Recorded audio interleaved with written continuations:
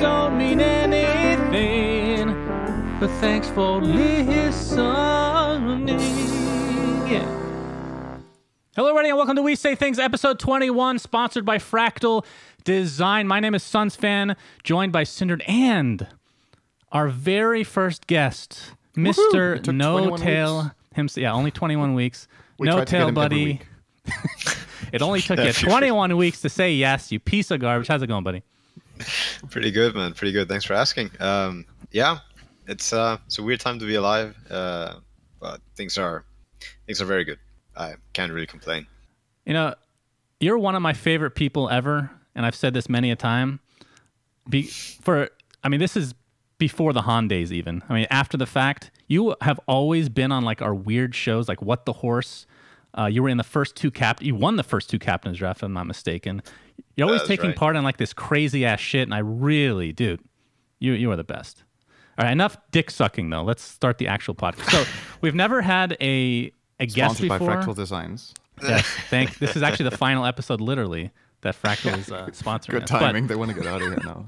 uh, we want f- feedback from the viewers to and listeners on how we should be doing guest appearances because what we're going to do now is a short version of our normal podcast, and I'm going to interview, or we're going to interview N0tail, and let us know what you think. So the first topic of the week, boys, is Team Liquid forming their own org. There hasn't been a whole lot of information other than they're leaving Liquid. N0tail, I know you're pretty close with KuroKy. What you got, Sure. buddy? I mean, Spill it. I, no, I mean, there's not there's not really too much to spill. I think I think the statements did a good justice. I think it's like um, a pursuit kind of thing. Like you you, you wanna there's something that you want to do. I mean, I'm sure for Kuro, he's uh, he's wanted to to do it since Team Secret. I mean, there was a lot of lot of energy and passion that was put into to Secret, and he ended up, you know, not having that, not having his own. Um, I also think that they were very happy in, with their time in Liquid, but you know, sometimes you just want to do stuff in life and and you go for it. Um, yeah, I don't have that much insight. We we spent we spent most of our time talking about Dota uh, for TI. Uh, yeah, Yeah, no surprise. So it's it's hundred percent. Is it hundred percent confirmed that they want to make their own org? Was that like in the wording of it that they're making their own stuff, or was it just that it's not liquid anymore? I think it I mean, kind of doing their own thing. That's Yeah. kind of what I got from it. But again, I can't really.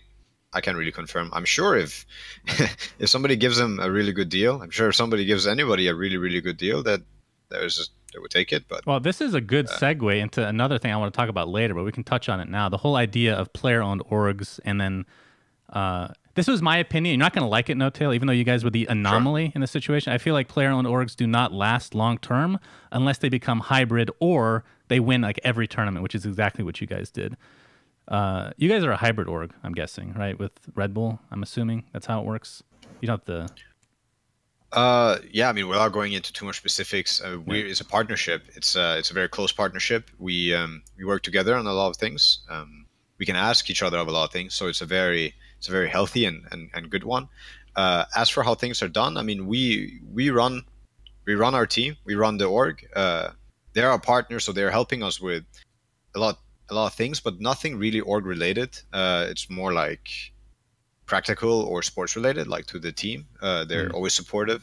Um, but again, I, I think if we came knocking with anything, that they would help. We, we have we have a very good. Do you Bond, get so- free Red Bull though? That's the real question. And can you hook Oh, someone up by any chance? Definitely, man. Anytime you need a Red Bull, I got I got plenty in the fridge. I'm always stocked up. Yo, we could Uh, use a sponsorship for this podcast. N0tail.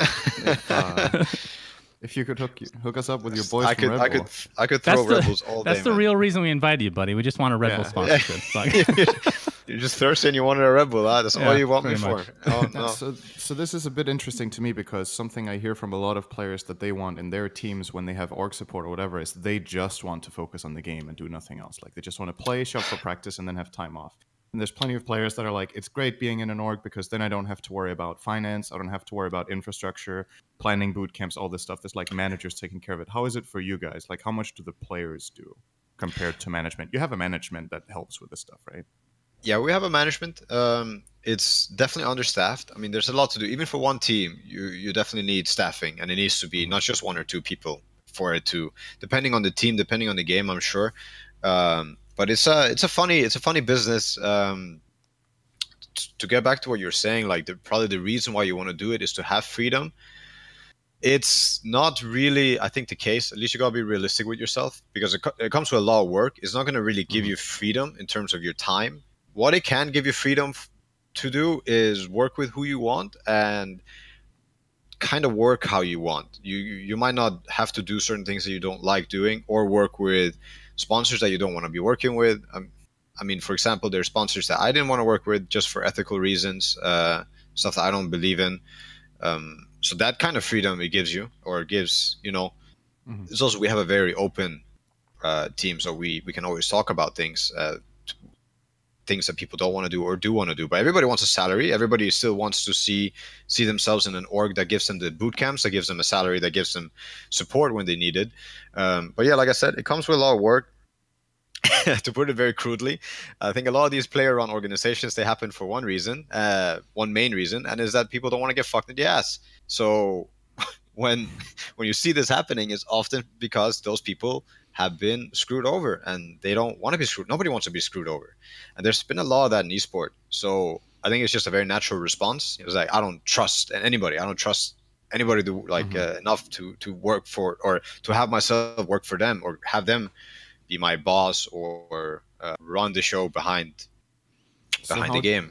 So how do you within a team like I mean for you guys it clearly works, right? But you can imagine if you make a player run org with other players, uh, how do you build that trust in each other that you feel like this could be run with us and we don't trust these orgs or whatnot, we think it's shady, but how do you have like this trust in each other that you just know okay, we can 100% rely on each other to do it right? I, uh, it's just uh, to do it right. I mean, I think we're all ready to fail. I can definitely say that OG has not been run 100% optimally. Far from it. Mhm. Running a business is its own little game, and we are very tied up. Uh, a lot of us with you know the Dota part, and we're understaffed when it comes to running the business part. So things could have definitely been done a lot better, faster, uh, maybe even a little bit different decision making. But I think the decision making has been overall healthy, good approach. At least when decision comes our way we have to make, we try to make the right one. We try to be very uh, considerate and ethical and very honest. I think the main Mhm. thing is uh, open book and honesty. If you have that, it's uh, a lot healthier environment. It's a lot healthier to do business. Um, so, yeah, to answer your point, like how do we make it work? I think it's a lot about yeah transparency, open book, trusting people to then fill up fill their responsibility because it's a lot of work and you know just to give an example if Ana tops us in a dota game they don't want somebody to come poke their shoulder and be like yo we're, we're talking about this now. We're doing this. No no they trust people to to do what's Mhm. best also in their interest. Um, Hmm. yeah it's that's important to for people to feel like their interest is being taken care of and being um, taken into account. And uh, yeah people then you can really do you, you can relax and play then. A really functioning org might be able to offer um, little more than what we can maybe offer in terms of certain things as in you have a multi-gaming org that might have you know set up boot camps around the world whereas we sometimes have to get a little exotic with where a boot camp is even though it's generally always good. Uh, we at least have that freedom that i do know that a lot of players in different orgs don't have where their best interest is actually being taken care of or a big part of it. I mean yeah we're trying to take care of everybody's interest. Sometimes it it's not 100% optimal like i said but that's the ethics are there the morale is there the intention is there so that's what we really care about The way Do that you, guys are doing it, Oh, go ahead. Sorry, I was sorry, just gonna say the way that you guys are doing it is like perfect to a T. It's, it almost feels like the Astralis of Dota in a lot of ways, uh, and a lot of like the original players in Dota that got screwed over, like you said, from other orgs. I don't know if that even happened to you personally, but I know Oh, a lot of players that have gotten screwed over, like hardcore from orgs, and there was like this big trust issue early on in the Dota 2 scene, right? But when you take a player-run org that's successful and you maintain a majority of control at the very least, like 51, just to talk in business terms, majority share, then working with another org is not that big of a deal because you still have control at the end of the day. The problem is a lot of these player run orgs, and you guys are not one of them, obviously, they don't last because the players try to do all the business themselves. And in a lot of cases, they're just not very good at it. They're just these young kids that just have no idea what's going on. Would you agree it's his with own that? game yeah man it's his Yeah. own little world it's his own dota game it's his own and it sometimes is very strange and sometimes i mean the game also changes and people play weird games when it comes to business. It becomes a very closed book kind of thing. Um, definitely been in organizations that weren't functioning, or yeah, like at times they weren't functioning, and so that whole transparency level not just goes away, but becomes a big gap and like a big canyon. Um, that's when yeah, you don't really. Your interest is not even a question. It's not even a topic. You know, it's you're just you're just there to uh, make the machine work. Um, yeah. So do you think the the way you guys work with it and yeah, just the whole the whole ex, the, the whole experience for you and let's say the maturity of your players do you feel like what you guys are doing is something that many teams could do or do you find it like a bit unique that you've been able to pull it off? Like let's say you put together a european team of five good players. What do you need to run your own org? Do you need old players experienced players somebody with some sort of business education? Uh, if i had to be completely honest because it's been a it's been a long project and mm-hmm. failures have happened i mean especially at the very beginning of og a lot of I Come say on. failures. Very beginning, you won two mistakes. majors, bro. Come on.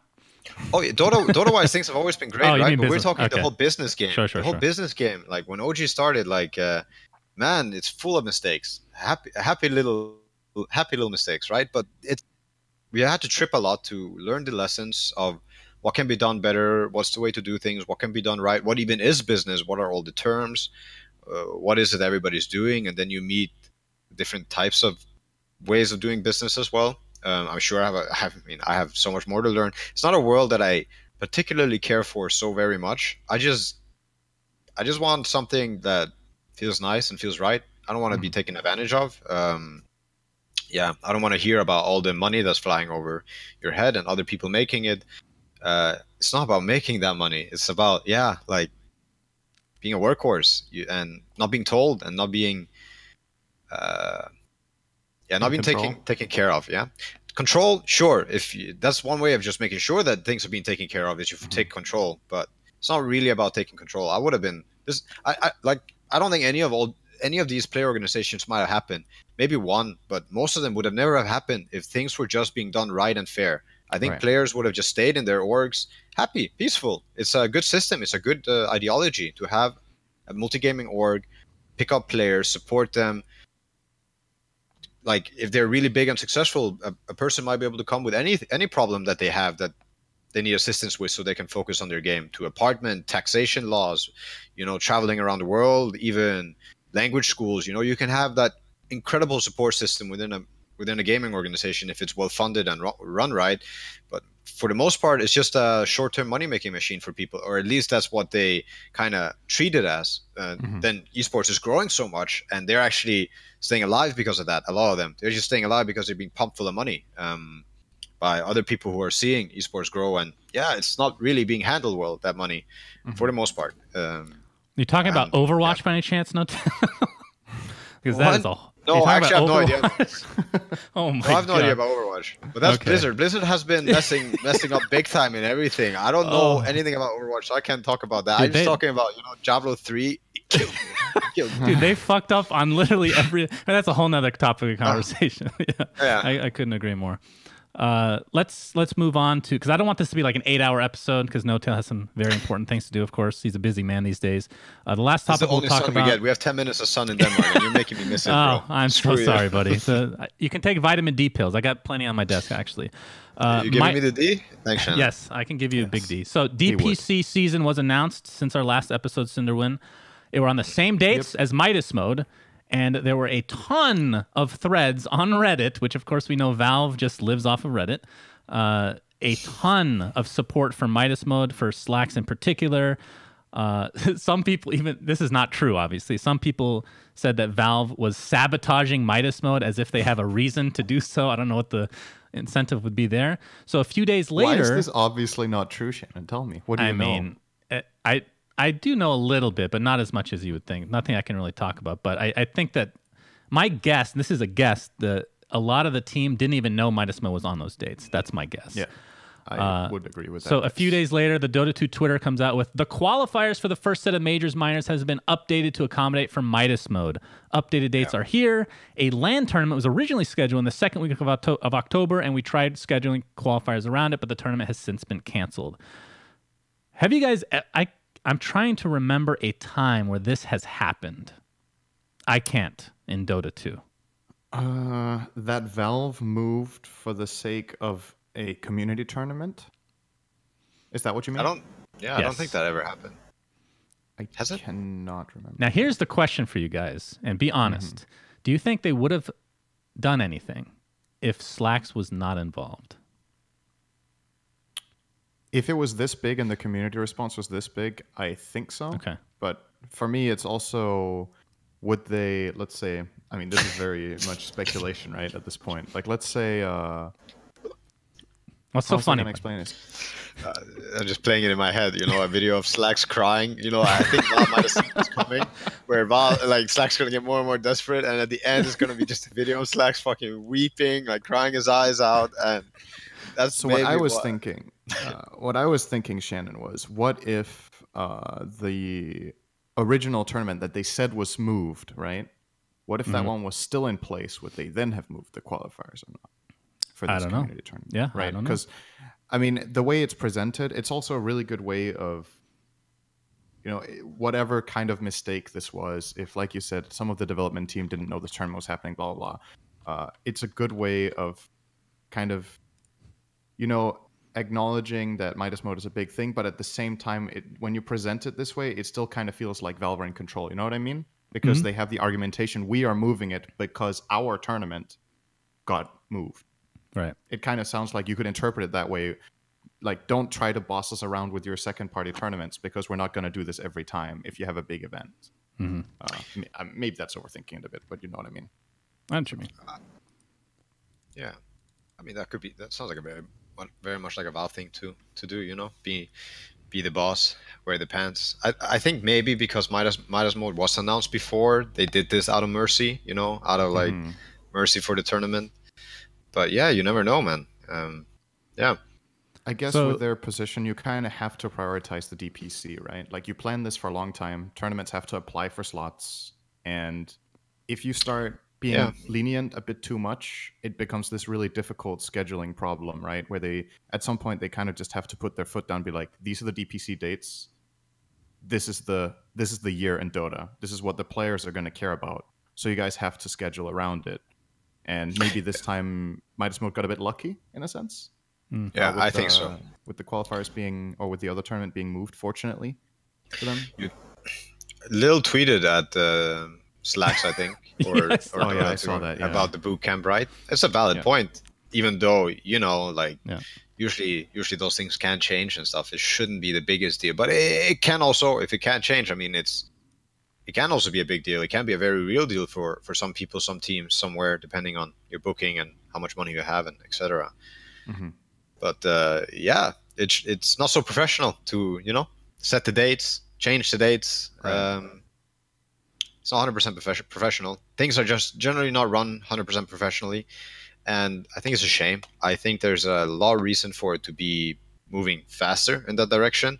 We have every tool. I I definitely do think that uh, it's a lack of initiative. Both maybe also on the player side. You could definitely argue on the player side, but also on on Valve's side as a tournament uh, organizer. I mean, trying to run the DPC system, there should be a board in place for the DPC system, trying to improve it every year and actually running it, like going around, making sure that everything is optimized and everything is always done better and greater. Um, like somebody who's actively going to reach out to the players and get input, talk about what Mhm. can be done better, what, what what's the general consensus. Um, I definitely think so just one example is that there's no off season in Dota, and I think you're going to see that next year, and it's happening through um, a lot of people who are taking some time off after TI, and I, I even remember it after TI. Um, uh, TI8, the player meeting before the tournament started, and people they were announcing the DPC system. People were already asking questions, like raising their hands. What about uh, the first major? When is it going to be? And they were really worried, and they heard that it was happening really fast. You know, there was Yeah. two weeks after TI8 ended that the qualifier had to be played, two or three weeks, if I remember correctly. That's that's crazy, man.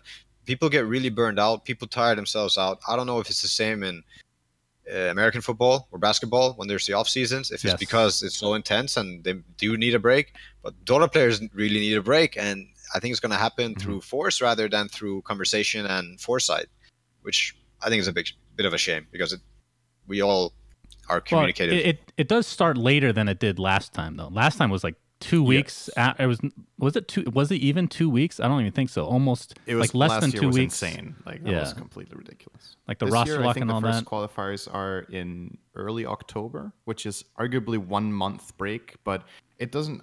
I mean, you tell me, N0tail, but it doesn't really feel like a one month break, right? Because you need to prepare going into the qualifiers, so you can't take a full month off and then just show up and be like, "Hey, let's go," you know? I mean, in Dota, you know how it is, right? Like for the most part, when a new patch hits and you're going to that tournament, you you want to have a week or two under your belt before you start actually boot camping because it just it's a big step. It's a big step to making your boot camp like uh, progressive and and and making people more knowledgeable about the meta and the patch and everything. So yeah, you know, you can't really just jump on the horse like start playing the day the the qualifier starts. You probably want to boot camp, and then Yeah. you probably want to play before the boot camp. So what are you actually left with again?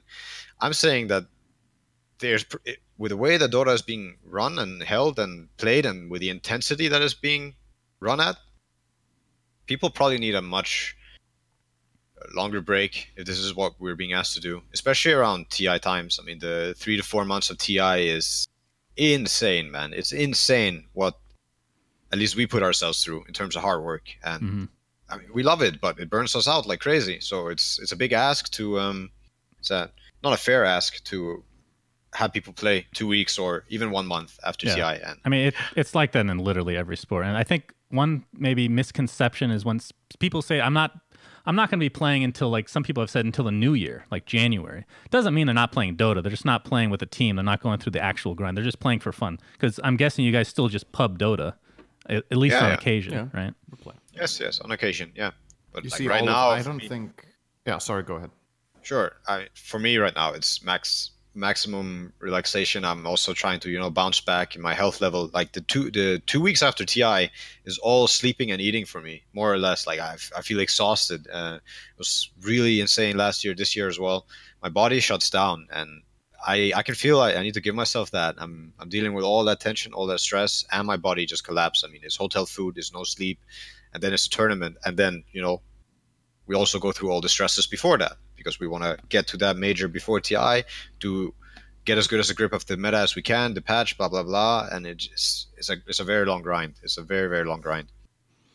I'd say, in my in my experience, so just from playing, I feel like most of the players that take a break, or all of the teams after TI, maybe you don't see them in pubs for like a week or two, but then they slowly start trickling in and just playing. But that isn't the same, like you said, Shannon. It's not the same as playing competitively. It's a totally different beast. Like how much Yeah, it's energy just and like basketball. You will take like you get a three month break, but Yeah, it's not like they're not working out. They're they're in shape Yeah. The whole summer, unless they're just really lazy. That's just how it is. Okay, so Um, to finish off on this note, I have mm-hmm. one more question, uh, or actually two, kind of. Uh, one is the the bigger one is: Do you feel like most of the problems with the DPC that you talked about with with how it's run and planned, do you feel like if Valve could, let's say, one year in advance, could announce all dates for the coming year, all qualifier dates, all event dates, both for the purpose of players preparing and sorting out boot camps well in advance, and for secondary organizers being able to dedicate slots like so we avoid the situation where Midas mode almost died. Like if they know one year in advance, these three weeks are locked for DPC. 100% do not touch. Uh, do you think that would be the overall solution to all problems, or is that just a part of it? Ah, the more foresight, the better. I also Mm-hmm. think that there's a limit to where, mm, I mean, it stops making sense for everybody, right? You can't just make three seasons in advance, but having having the plan or the schedule six months in advance sounds like a pretty reasonable amount of time for people to start planning, especially if you want to have like a tier t- like a like a tier two or tier one and a half tournament right after TI. Maybe there's teams who are even willing to to go to that. Some South American team that hadn't been in the four majors, but then they managed to get to the last one, get enough points, get into TI. They didn't play much Dota throughout the season, but they're ready to play right after. They'd be ready and willing. And then a lot of tier two teams would want to play that tournament. People could schedule that, you know, before TI even began. But right now, it definitely seems like TI is just dictating the whole season, and everybody's just Yeah. waiting patiently, looking at their clock, like when is when is TI starting or ending, or so we can start, you know, planning. Um, def- but I think it should get more professional. Uh there's no reason for it not to be, and yeah, some more foresight. okay, I Um, and then the second question I had, Shannon, really quick. Uh, if you could decide on the spot, if you could be like, this is how long of a player break we want, when do you think the first qualifier after TI should be? I would say having a three month off season scheduled, three to four, would make sense with what what the teams are being asked to do. Um, So the first qualifier is in. November, basically, or yeah, late November. yeah. Yeah. That sounds that sounds like a reasonable amount of time. I I think uh, it's more like the traveling is so intense. We travel all across the world. I don't know how it is in the other sports, but with that amount of traveling, together with the boot camping, um, we spend so much time on the road, and that is really draining. And uh, Yeah. yeah, there's no, there's never been a br- break break time throughout the year, uh, a set one. I think based on the fact that a lot of you guys are not are just not playing this season, next season I will be shocked if they don't change it. Uh, because, like you said, you just kind of have to force it, and then they'll they'll adjust instead of having a conversation, which should have been to begin with. But you know, that kind of is what it is. It is what it is. So I want to transition Best into the conclusion on anything. into the it is what it is, Hey, man. What are you that that's always correct though, isn't it? You can't be wrong by saying that. We should we should be running the town hall, man. Having these meetings. it is what it is. Yeah, It is what it is. Tell you what. All right. So what I want to do is kind of do a mini interview. I just want to talk about your life in general. We'll go in kind of chronological order because I have some very interesting questions uh, that I think a lot of people would appreciate. First and foremost, where where did you grow up? What was your life early on? Like, were you always a gamer? Were you into like board games or anything? Like, were you active in terms of like, for example, I was, believe it or not, an athlete until I came upon Half Life One in 1998. All right, Doubt. let me just 52 points I scored in a basketball game in seventh grade. A year later, I got long was the introduced to? Half Life. It was, it was not very long actually, just a lunch break. But Half Life One introduced me to obesity, uh, pre-diabetes, and you know carpal tunnel syndrome. So what was it like for you, No? Oh shit, man. Oh shit. Well, I can I can bring you I can rewind even more and take you all the way back. So I was apparently Please. made in Hawaii, according to my mom. Oh, yeah. I know. I don't know why I know that, but I, I know that, so I can share that with you as well. is that a cultural thing uh, that you guys talk about that stuff? Because in America, that's just no. a bit eccentric, eccentric but I, I like it. Um, that's hilarious. Yeah, uh, born born and raised in Denmark. Um, I was I was on the Game Boy first when I was on the pot, like doing potty Mm. training. So started very fucking early. Um, Nice. always been huge on video games my whole life. I, lo- I loved all video games. Played all the Nintendo 64 ones more or less. Uh, really big on Zelda. Um, the Ocarina of Time one really set me off for a good start. I, I think I think it's something that most kids should play, like the Ocarina game. It's uh, it's a puzzle. It's a very puzzle intense game. Very nice stories, right? Uh, and I think it's it's quite good for kids to to to play a lot of these kind of games because it gives you confidence. It teaches you, you know, overcoming. It's an adventure, you know, with ups and downs, all that kind of stuff. So and there's you know you're playing a flute, music, music aspect to it. Uh, anyways, moving on. Played video games my whole life. Wait, were school you- sorry. Were you social during this time? Were you a social person? Uh, balanced it. I mean, I was definitely an introvert, very introverted when I was a kid, super Mhm. introverted. But I had some friends that I opened up to. I was, I mean, I think most introverts they they really are waiting for the, their moment to open up. As soon as they meet somebody who they feel comfortable with, they start Yeah. opening up. And I definitely had those people in my life as well. Uh, but definitely a big introvert. Uh, yeah, skip school for net cafes growing up. Uh, these cyber cafes, we there was a big culture in Copenhagen for that. Um, stumbled upon one that was a Dota exclusive one, more or less. I tried my first Dota game some months before that, maybe half a year. Um, but yeah, ended up playing a lot of Dota One. I played so much Dota One. Uh, LAN five versus five. Um, Did you go straight to six in the Dota and not do Warcraft 3? oh, sorry, yeah, I skipped. I skipped a lot of games. Okay, So no, that's played- fine. I was just just curious because some Yeah, people I know good, just good. went straight to Dota. You know, No, no, no. I did. I did the Warcraft three. Did the Warcraft three campaign. Played some um, actual melee, like one on ones. I played a bit of Starcraft. Played all the Blizzard games, campaign through and through. Diablo one, two, sadly three. Um, the what else did I play? I mean, I play a lot of the other strategy games as well. I mean, uh, I've played Heroes of Might and Magic. I've played Hmm. I played basically all the classics, Half Life uh, one and two. It's been a very long time though. Played a lot of Counter Strike. Uh, this was all before Dota. Um, yeah, I played all those really weird random games. A lot of the weird random games. I mean, there's games, of course, I haven't played, but I played a lot of games. Um, Every game Yeah. in the world. Oh, yeah, no. Uh, oh yeah, I got stuck with WoW as well. I got stuck with WoW before Dota. Really? Holy shit! Yeah, I also played WoW during Dota a bit. Oh my god, that game was so addictive. uh, I became really good. So this is a quick, uh, quick thing. I mean, not not everybody knows, but I was really freaking good at PvP. We had a really good three on three going on uh, in Burning Crusade when we do- when Arena came out. We got the world's first hot, hot, hot, and hot, hot, hot streak, the achievement Oh. thing. Yeah, yeah, yeah. I, I don't remember exactly what the cre- credentials were, or the criteria. Sorry, if it was like some ten win streak with whatever.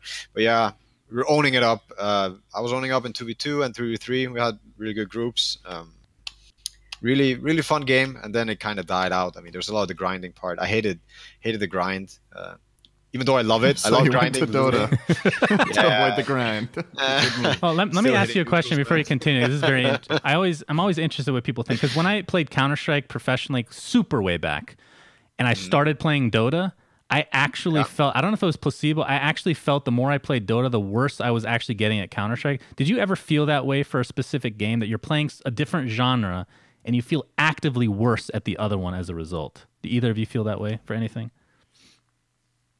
I can relate. I can definitely relate. Uh, it, it was also WoW and Dota. Uh, yeah, it's like that whole habitual thing. You really get into it, but I think that diminishes the more you swap in between the two games. Hmm. I think if you swap in between a daily, after some time, you can do both. Uh, It's all, I I don't know. It's it's also a hard question to answer, right? Because you could say yes, I'm actively getting worse at Counter Strike by playing Dota all day, but if you're comparing it to playing neither, then you're probably also worse at Counter Strike because you're not playing it, right? So Right. yeah, it's a bit hard to like how do you measure this? Well. I, I lost more matches when I started playing Dota. Let's just say that in Counter Strike. So I, de- I definitely my- think when you get introduced to new games and you're used to one game, like this new game, it takes a lot of space in your brain. Like when you first start mm-hmm. playing a game, you can even dream about it. Like you do it enough, you get that Tetris syndrome where shit, Yeah. man, like you're at the grocery store and now the game, like everything is Dota for you. And it, I think, yeah, that initial thing, it takes over your whole life and it can also affect your game. But I think once you, right now, I played so much Dota. I played so much freaking Dota. Uh, and I, I could, I could, I can go play a new game for a while, come back to Dota, and quickly get back into it. Right, Mhm. after some 20,000, 25,000 hours, like, like overall, I'm, yeah, Dota is in there. Dota is mostly uh, what's in there. so continue. Sorry. You so you start playing Dota and other games and then what? Yeah, uh, Dota at, the, at that Net Cafe. Then I got introduced to HoN as well down at the Net Cafe. Ah. I, yeah, We're gonna talk about HoN this. really- yeah. Yeah, yeah, that's when HoN really started. Um, became very much in love with the game when it first came out.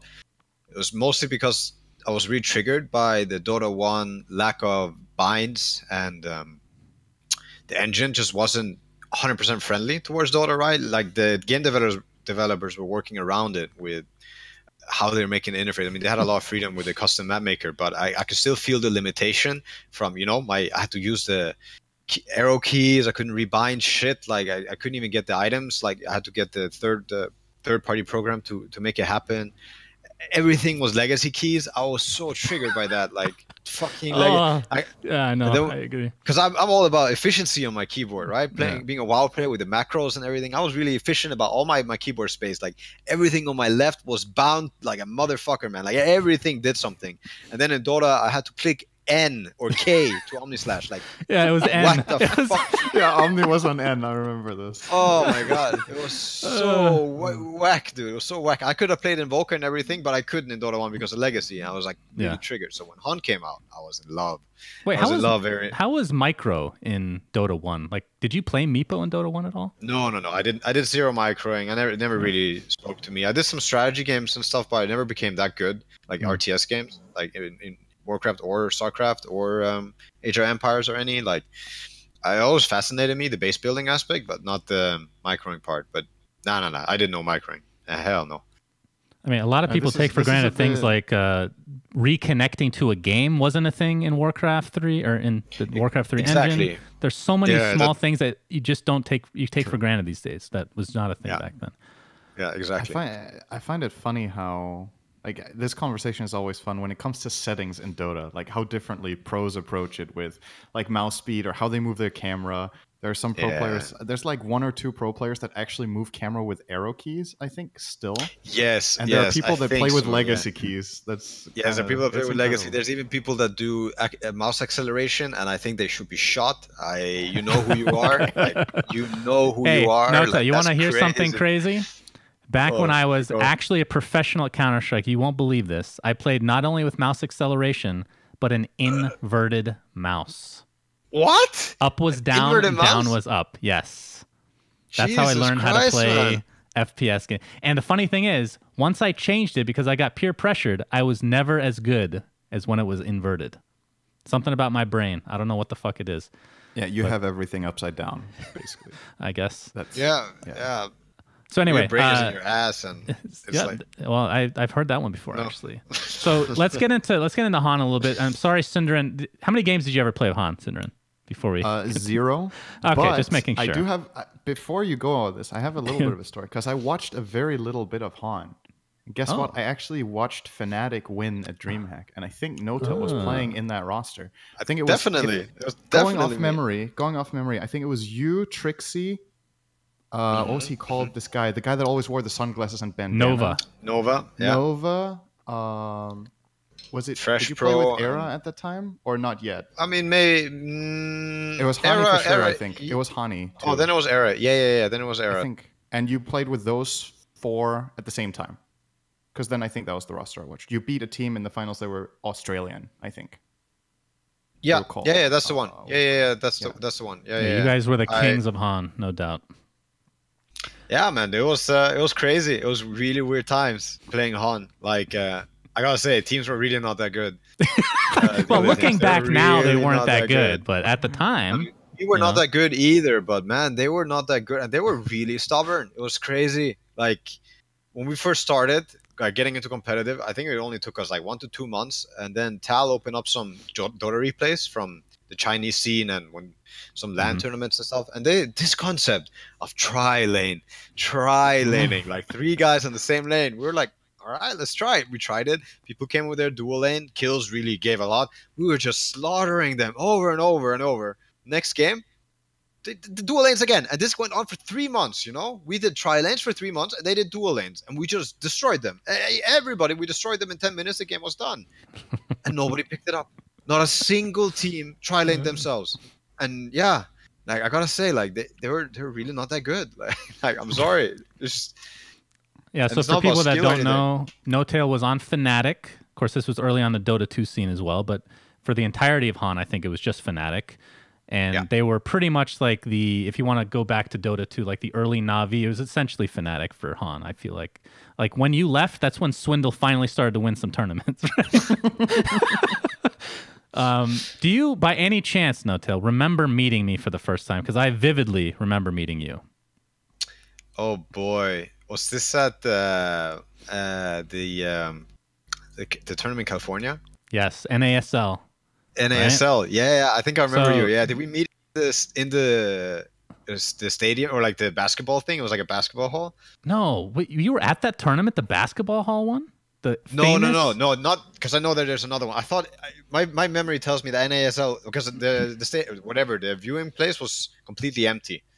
Well, I thought it was also a basketball hall. No, no, there was a bunch of people. Like uh, Day Nine was there first. It was mostly StarCraft, so HoN was like the secondary thing. But you were there with uh, Era was on your team at that time, so it was the later No, stages. Era was on Lions. Era was on oh, Lions. yeah, yeah, yeah, yeah, yeah. You're right. It was yeah. on Lions and they beat us. This was like the only LAN tournament we ever lost. Um, Okay. Yeah, yeah, yeah. So you you introduced yourself to me, which this was like early on in my casting career, so nobody really knows who the hell I am. And he's like, I'm a real big fan of you. I'm like, what the fuck? Like Yeah. you were literally the first person. It you were a player as well, but you were the first person, period, that ever came up to me ever in my esports career. So you you you popped my cherry real good, buddy. So ever since then, I've been a massive. Obviously, I was a big fan before that, but Aw. yeah, good times, buddy. That was that was a time where I was literally afraid. This shows you how like I'm an introvert by nature, um, and I just fake it all the time. But back then, I was literally afraid to say hello to Day Nine. I was that was like a Oh, celebrity shock type of thing, right? I was too scared. Oh scared. yeah. So I Damn. introduced myself to him. uh, because people always call me like the Jewish Day Nine. So just just so you guys know, I'm not actually Jewish, but people think I look Jewish. Okay. And actually, Fly still thinks I'm Jewish. I just didn't want to correct him when he talked about it uh, way back when. That's another story. But so I introduced You myself tell me the as story. I introduced myself to him as, "Hey, I'm basically the guy in HoN, and they they call me Jew Nine, just as a joke." and the look on his face, I have a picture of it that I should probably post at some point. It, he had no fucking reaction, dude, zero reaction, and I have never talked to him since. Literally oh, not since. shit. But no, Next time you see him, you should be like, "Yo, it's June 9. Remember me?" Uh, but anyway, so before we move on to Dota 2 stuff, I want to ask you: uh, Are there any heroes that you miss? yeah, there's definitely two heroes I thought were really cool. I really like the Master of Arms concept. I think it's Wow, nice. It's okay. always nice with complicated heroes. Uh, he was Mhm. definitely, of course, a little bit imba, and you have to change a bit. But the, as a concept, I thought it was really cool. Mhm. Short machine gun, long sniper, uh, global aspect too, uh, scaling aspect, like funny stuff with Maelstrom, or yeah, I think it would be one of the most played Dota heroes if if they had him in Dota. I'm pretty sure. I think that would that was, some Oh, good, satisfying sh- mm. shit, man. It's like it's like that feeling of getting a four man laser with Tinker or a Requiem, like a good Requiem with SF, like getting that fucking Deadwood punch. It's like dude, it Oh. was fucking orgasmic. I won't lie. Oh. yeah, it was so good. What Uh, about? Well, I, I don't remember you playing that. You probably did because you were mid for a while. Uh, Chipper is my personal favorite. That I think Wow. if they put that hero in Dota, it will be a top five played. Right? That is like such a fucking fun hero, and it's it's a int, fun hero, right? yeah. But So it's also cool it was so imbalanced. It was so freaking imbalanced. Everything was imbalanced. though, stages. you know. Yeah, then there was a whole I- Gemini bug. Oh, that lasted forever. What about uh, like mechanics? Do you miss anything from HoN that you um, wish was in Dota, like turn rates, things like that? I don't think it's as so in Dota One. I definitely it was a much welcomed uh, change that everything was smoother and a little bit quicker. And I think Mm. Dota Two has it at a good pace. I think Dota Two is still much quicker than Dota One when it comes to these things. And it's uh it's it's, it's good enough. I wouldn't make it faster really. I think it's part of the charm. Uh, it's the turn rate of Dota and the fact that some heroes have much less and some just have that average that's more. In HoN, it was also quick. Um, I guess I I I could say that a couple of item inspirations could happen. I think Dota has a lot of good things going for it. I I think we have so much. We, we, we can't say that they're doing a bad job when it comes to this, but some inspiration when it comes to items like the Harkons blade. Oh, Not necessarily saying that was balanced, like how it was in HoN for the heroes that were there. But you know, some more items for the int heroes or some more item for the agi heroes like early on. Now that Aquila is gone and stuff, even though agi heroes are really really fucking strong right now. But yeah, you know, like to um, get some good inspiration because I, I think HoN was not afraid to make things a little complicated, and I really like that. I mean, we saw it with Chipper. We saw that Deadwood wasn't super complicated, but it has some complexity. Mhm. Master of Arms, much more complicated than your average hero. Um, this part I really like, and I think the game sh- should have more of this than you know the simple stuff. so this is actually this is a really Mm. good talking point. If I can just bounce off that, because um, something that's been happening in Dota lately, in my opinion, when you look at hero design, is that heroes that had low win rate but were- were very good and competitive, like Chen, like Io, Yeah. uh, were more or less redesigned to be more accessible and easier for the average player to play. Like Chen's micro got less intensive. Io was didn't have the same maneuverability with the spirits and whatnot. Right. Do you feel like it's a shame and do you feel like it's a necessity to like lower complexity for the average player at the cost of what it does in competitive Dota? Like what do you think? Is this a good trade-off or should we not care? I don't think it's a good trade-off. I think it's a very good point. I think the true shame lies in not teaching people, not giving them the access, accessibility to learn, instead of you know make then instead making it easier. I mean, we don't. People are getting dumb around the world. We don't have to. We don't have to help that part either. You know, like, let's keep the complexity and the the depth of the game, and instead make tutorials or gu- guides whatever it is that can get people to that level like uh, so that they can understand it because i see it all the time in pubs and we all see it people that get to understand dota on a much deeper level and they actually do some next level shit everybody has that ability to to to at least play the heroes. You know, Uh, even even at 2K MMR, you can learn to cast spells with Invoker. It just becomes a matter of uh, arithmetic with your fingers. Um, Right. I don't know. I definitely. This is why I play Dota is for the complexity, and they would lose me as a customer, as a player, if it became too simple, um, for sure. So I would have to find another game to play. Then I think Dota is is that game, and it should stay that game. Uh, Mhm. Definitely. it's make more of an interesting with effort. The, it's interesting with the new heroes because so I, I I don't remember who was talking to this uh, with this at TI, but uh, the last couple of heroes that we got, eh, with the exception of Mars, were re- honestly pretty complex. Right, the last Yeah. ones that we've had, they've had a lot Sure. of depth, a lot of options, Mhm. and then Mars was Oh pretty yeah. straightforward. He's a pretty simple hero, uh, but I, I don't personally think that uh, inherently simple heroes are bad as long as the design itself is just fun and great to play, right? Do you feel like so? For example, these next two heroes that are coming out, what are you hoping for? Do you hope it's like super complex, like let's say Earth Spirit, or uh, simple like Mars? What's what's the goal for you? Kind of for what's the ideal new hero?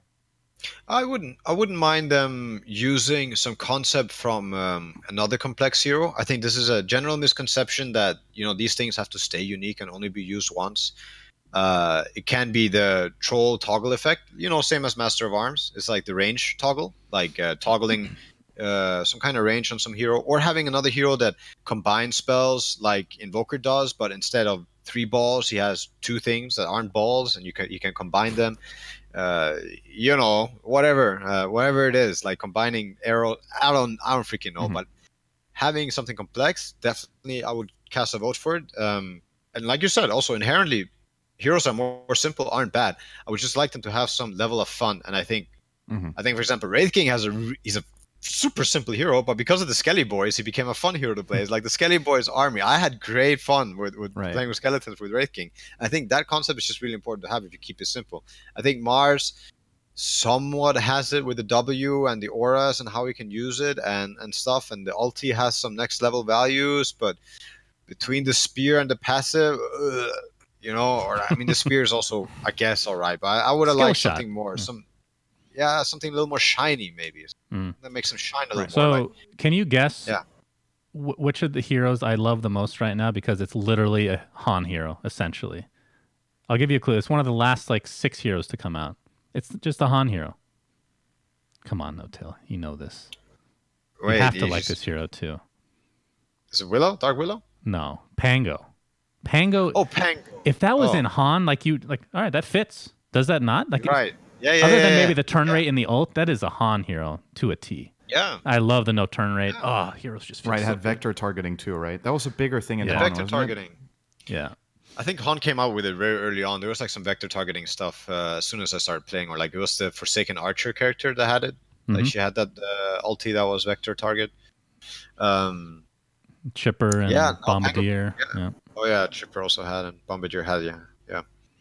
So Bombardier was a really fun hero, man. So the funny thing really about Bombardier is he's the same concept as Chipper. It's just slightly different spells. Like it's exactly the same concept, like burst damage, and he played pretty Yeah. similarly. fun. very both of them cool were also stupid ass Yeah. So shit. Man. They were- finishing finishing up with HoN, I want to say a couple things that I miss because I get to finally talk to somebody that played fucking HoN. Uh, Sorry. So obviously, the, we talked about the turn race, the cast animations, things of that nature. I even though I didn't do it myself, like when I was watching like pro games, the taunting system I thought was far superior. Like you're a big emoter in the current Dota, if you want to call it an emote or whatever the the chat wheel. Do you think if they brought taunting from HoN, would you enjoy that? So let's No. explain what it is. No. Explain explain from your perspective what taunting and HoN is for people that don't know. I mean, taunting was just way over the top. it, it was it was crazy, man. You had you put this thing right. You had this cooldown of I don't know, sixty seconds or something. You put it on some guy's head, and if you get the kill, I think if you get you have to get the last hit. I'm not sure if your teammate would have killed him. If you would still get. it. I don't think so. I think you have to get the I think it's kill. you, Yeah. Then it. I don't even remember if it also refreshes the cooldown or something, but it spams this really loud thing that you select before the game, Yeah. and you could choose like a flamboyant pack, and it's like you could choose all kinds of different voice It just packs. pops up on the screen for them, like in bold letters and really loud. Yeah, yeah, really. but if you don't loud. kill them, then they Yes. taunt you. You get taunted back. It's great. You get taunted back. And if you Ah. die, it also does something else. It gives you the Yeah. humiliation or something like. Uh, Yeah. All, all I'm hearing in my head with this is uh. the voice wheel from this year's TI with your laugh from when you were casting at the summit. Uh. and I just imagine if you get killed by somebody, that laugh track is just playing for your entire respawn time. until Yeah. back or something. So oh, the last thing that I miss from HoN, because you can argue the other stuff that we listed, turn rates and all that stuff. You can argue, even though I would disagree. You could argue that it doesn't fit in Dota. This one, there's no reason I can think of that you wouldn't do it, and it's the um, the impact that some of the spells had. Like you mentioned, Deadwood's punch. It just felt Yeah. fucking amazing. Pyro, Pyro ulti. Pyro ult, Lion ult with the gun, uh, even Yeah. Sven. so Sven would ult, oh. right? And then every time you hit something, it's like, brrr, brrr. it was just, oh my god, just gets the serotonin levels up. Dota has a lot of that, though, doesn't it? No. Wouldn't Uh, Dota has that? some of it. I also I get it from the Sven in Dota. I get some. I get a satisfaction from the Sven hitting as well. But a hundred percent, like the Lina and Lion ulti are far far superior in HoN than they are in Dota. There's some deep level of satisfaction that you get. Like, you, really, it's worth it just That's to. good. Oh man, I, yeah, I haven't thought of it for a long time. But you know, this this Pyro ulti is like he rams it up your ass. Like, Whereas the Lina ulti is Feels like good. some weak ass Laguna blade, like some small pellet Yeah. that yeah it hurts, you know. But this one, it's like you fucking you It- get it. The funny thing, it's hard to explain, and it's even even if you look at a video, it's hard to see. You have to play to understand Yeah, the feeling. yeah. It's Yeah, it's has to be that But- you know. Yeah, But does HoN have the same feeling of getting last hits on range creeps with Anti-Mage? Does it have that? I don't That remember that is being a thing. One of the yeah. most satisfying sounds. That's It's more so of a funny when sound, you talk though, to people about right? when you talk to people about what sounds are satisfying in Dota. I feel like unanimously people love the sound of getting last hits with Anti-Mage. I don't know what Anti-Mage it has is though. something. Yeah. Yeah. Uh, nah, he doesn't. the- Mage it's Bane the in mana HoN doesn't have the same, but there, yeah, it's the. I think it's the mana burn sound Yeah, it's so satisfying. I don't know. plus the damage. You're like, yeah. Okay. Yeah. So transitioning forward, you go to Dota 2. What made what made that decision for you? Was it I can't even remember. Did you just switch right away or did you No, take it slow? no. It We uh, we we were playing HoN. Trixi swapped uh, a game before us. He I think didn't feel as motivated. He we all saw the game was not doing uh, better and better. It was doing worse and worse. Like Mhm. Heroes of Newerth, that is. And Dota had had the first international happen, and Trixi swapped um, sometime after that. Some um, we had like an open talk, if I remember correctly, and it was it was completely fine. You know, we decided to play play HoN because we still really liked the game, and we weren't we were doing really well. So it was also kind of hard thing to give up on. You know, like a game you're passionate about. You, I was losing a bit of passion for it. Like the game was also decreasing in quality. We're talking about the taunts, but there's also so much else. Like they're spamming heroes, they're spamming skins. I mean, one, let's be real. Once once Ice Frog left, the game started to go in decline in terms of hero design I'm and not- everything, right? Yeah, I'm not really sure how long Icefrog stayed around for, but there was definitely a lot of cool things happening at first. Uh, I really Yeah. like how the game was going at first. But yeah, uh, we went to Dota 2 sometime after TI2, not too long after TI2, and we had a talk about it. The game was doing worse. Dota looked really fun, and I, of course, on a personal level, had a very uh, big passion for Dota 1 still. I mean, it was a game that I truly loved. I had so many fun memories of it and with it. Um, and yeah, like we swapped together because we just we felt good about each other. We felt good about the team that we had in HoN, and we we knew that the games were very similar. I mean, they were really similar um, in terms of many things, but it also had its differences. Um, but yeah, it was like a we jumped both together. We jumped from one game to the other. Decided to um, become the best team in that game as well. First And- step was to get to the international, but yeah. Right. And syndereN and I talked about this, and we disagree actually on what the reception was like. But from your perspective, what was what did you feel like the reception was from a public standpoint in terms of HoN players coming over to Dota? Was there any? Was it negative? Was it neutral? Was it positive? I think there was a lot of uh, there was a lot of there's a mix. Um, but I think it was more positive than negative. But there was a little bit of like uh, yeah, Okay. there, but there was a little bit of this weird Damn. nation, Get nationalistic on, feeling. dude. Get him, get him, no So we- I think N0tail's not We had this- remembering correctly. Right? we uh we, we had this thread going on on Join Dota. It was like this was the thing. We had like jokes with Navi about it for fun because Navi had a really big thread going on on Join Dota. It was like the public forum that everybody was going to. We had this uh, Fnatic MSI X HoN team something something uh, thread that opened up, and it was also getting very big. Just getting spammed by posts, and we had this. Uh, ongoing competition between us, Navi and us, about who's gonna get to 10k first or some number. I don't remember. I think we won, but we might have lost. But but yeah, the, the reception was generally good. Um, I would say. I think there was a little bit of negativity, a little bit of like, but that kind of negativity is like somebody coming. With what you guys have in the U.S. with somebody who looks Hispanic, you're like, "Who's this?" and uh, you, you want to throw them out of there. But they're just we're just uh, HoN players, and yeah, nah, it wasn't it wasn't anything. I bad. just It was a little remember. HoN trash being a very negative thing to say early on, and then over time it became almost endearing. Like right now, if I say HoN trash, it's a it's a fucking compliment. It's hard. yeah, it's, a- it's a compliment, exactly. Yeah. It's like uh, slightly negative, ironic to pure irony to now. I mean, after Lions won TI3, HoN trash was ruling, man. HoN trash all the way. yeah. So how how long did it take for you to feel like you were in like tier one status? Like you were like, all right, I'm I'm pretty fucking good at this. Like, was it an immediate thing? Did it take a few Oh. months? Like compared to the top status. competition. I honestly don't think I ever felt tier one until uh, we won Frankfurt Major. Yeah, really, Really? far from it. Wow. Oh yeah, Damn. like uh, okay. we were uh, very Humble bad boy. on a do- no on a Dota level. We were never tier one. Well, I, I beg to I- sorry, I, I take it more from a personal standpoint as a player versus forget about the team for a second. Like from personal, like you're playing. Oh, I'm actually better than a lot of these people that I'm playing against. Um, I mean, it depends on like what kind of player you are. Like you're back in HoN, you were very cocky. Like it, it wasn't like in a Moon Meander bad way, I would say, but it gave off uh, the air of confidence, right? I don't know if it's the if it's more Sure, of sure. a. It just I, depends I on was everyone's pretty, perspective. I was pretty cocky. Yeah, I was pretty cocky, I guess, in HoN. Um, I was also very young. It was young mentality. Um, but I felt like I felt like we were really good, and I also felt like my ideas were pretty good when it came to Dota in general, um, and the MOBA MOBA genre. Well, I guess it's Dota because that's the tools I was working with. But it's a lot of things that people were doing back then that I disagreed with, and a lot of things that weren't being done. But I never had proof that I was right. So I might have had the idea that I was good and tier one. Sure, I get it from my public games where I was winning a lot of the public games. I was also mm. losing some, but I was winning a lot. But yeah, I mean, we made it to TI three, so yeah, deep down, I felt like I was good enough. But okay. For the most part, no, man. Uh, huge doubter, doubted myself a lot. We never, we never did shit until Frankfurt, like when it, like good enough shit. Yeah. Yeah. so Um, when when you switched over, because I, I kind of remember this phase, because I was also playing at the time, right? Um, Mm-hmm. That when you guys switched over, it was obviously a slow start because you're really far behind everybody. It's it's clear, Yeah. like you're switching games, you Yep, need to yep, yep.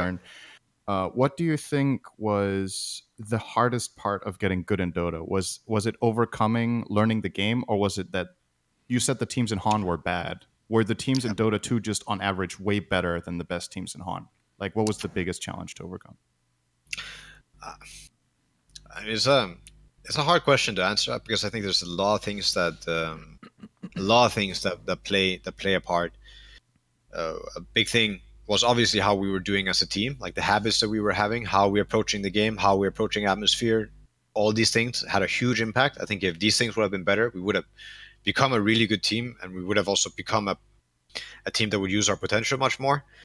But the the time that uh, things really started changing, I mean, like I said, Frankfurt Major, and the reason why I think it was all the experience. I think Do- Dota teams had a lot more experience. All the Dota teams, a lot of these really smart Dota players, um, including you guys. I mean, you guys were spanking us. Um, all this experience, like how you're losing games, you're losing to Anti split push, you're losing to this guy winning, crushing his mid matchup, you're losing because uh, you know Navi are abusing Chen or Ench and you don't know how to deal with it.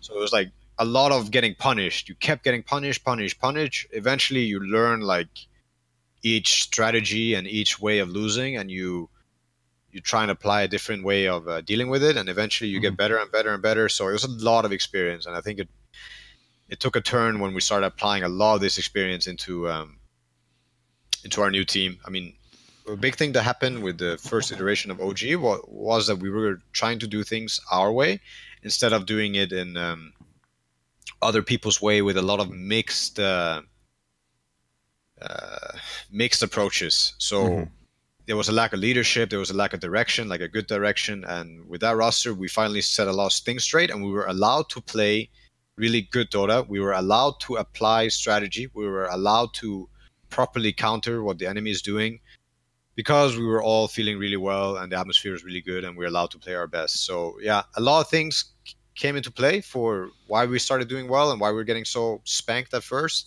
But a big thing is just it's the same thing. Why there's never going to be some random. I mean, Wings was I think the closest example that we're ever going to get, and we're never going to get something like it. You're never going to have five guys somewhere in Southeast Asia or China or America or anywhere with no experience or very little who's just going to come in and win a big tournament. It's never going to happen because Dota requires you to learn learn the hard way. You need to get that experience. Mm-hmm. You're gonna lose to anti split push.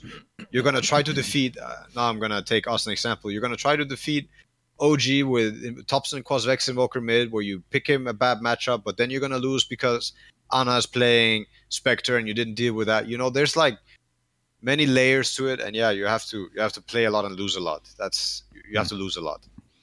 So why do you think Wings could do it? Was the scene that year not so strong, or was like a miracle, or? I mean, DC got second, so that's pretty shitty, right? Damn. Damn. Okay. Wow. um, I think it's a mix of many things. I think the biggest, because I don't think you can take credit away from them. They were really freaking good, and I think the reason why they were that good was one, they had played Dota for a very long time, so like I said, they're the closest example, but they did have a lot of experience. They also had some competitive experience between some of them. But two, I think that they were one of the few teams that actually understood what it was to have a really good atmosphere during playtime, like during tournament time. I know they had their ups and downs throughout the season and throughout some tournaments and their boot camps, but I think for law tournaments and especially TI, they had perfect team atmosphere. They had team morale. They they, they looked like a team. They felt like a team, so they could play the best Dota. And at TI, you know, like releasing pressure and not playing uh, bad is half the half the battle. Like not playing way below your average is half the battle because a lot of mm-hmm. teams just lose lose to that. So yeah. boot camping for TI6, funny story. I think maybe I mentioned this on the podcast before. I don't think N0tail's heard this though. Uh, DC was playing wings probably more than any other team actually, which is oh, interesting oh, yeah. because a lot of times you have like these teams that are just practicing against each other that end up in the finals. Like the EG CDEC example is another yeah. one. Um, Mm-hmm. But the funny thing is, you're talking about how they have a good atmosphere, and for the most part, I agree, except this one instance, apparently, and I heard this from Jack behind the scenes. Yeah, this is one I heard too. Oh, okay. So we crushed them so many times in a row with like Magnus mid, which for some reason uh, w33ha never picked at TI. I don't know why. Um, that they just rage quit for the day, and we didn't play them again until TI. Uh, so I guess they, they got almost got into together. a fist fight. Uh, yeah. They all, apparently, they almost got into a freaking fist fight or some shit, you know. but that was uh, because of good atmosphere. we could turn it around, man. Anything can be turned around. Yeah, that's true. Yeah, I, I, it can be. I mean, our bootcamp before this year's TI was rough as fuck, man. It was crazy rough. Like we had a big downer. We were still all working hard, but uh, we're going through some shit, everybody individually, and then it goes into the team and stuff. Uh, mm-hmm. And then we had this really nice uh, pep talk the day before group stage starts and we're about to scrim Navi or somebody. I don't remember. And we're like, yeah, guys, we're gonna fucking do this together. We're gonna go. We get destroyed both games. it's like, oh fuck, we have to play tomorrow. yeah. Uh, you guys have the experience from last year though to learn, right? So you know what it takes to win. That's that's definitely a very valuable thing to have in the back pocket, if you will. Right, but you can use that argument, but yet nobody wins TI twice, more or less, and uh, it's also it's also because people don't take the last TI win and use it. I think everybody gets the last TI win and is being used against them. Mm. It's like you, you learn or you prove to yourself that you can do something, or you at least prove to yourself that you are good enough to win TI.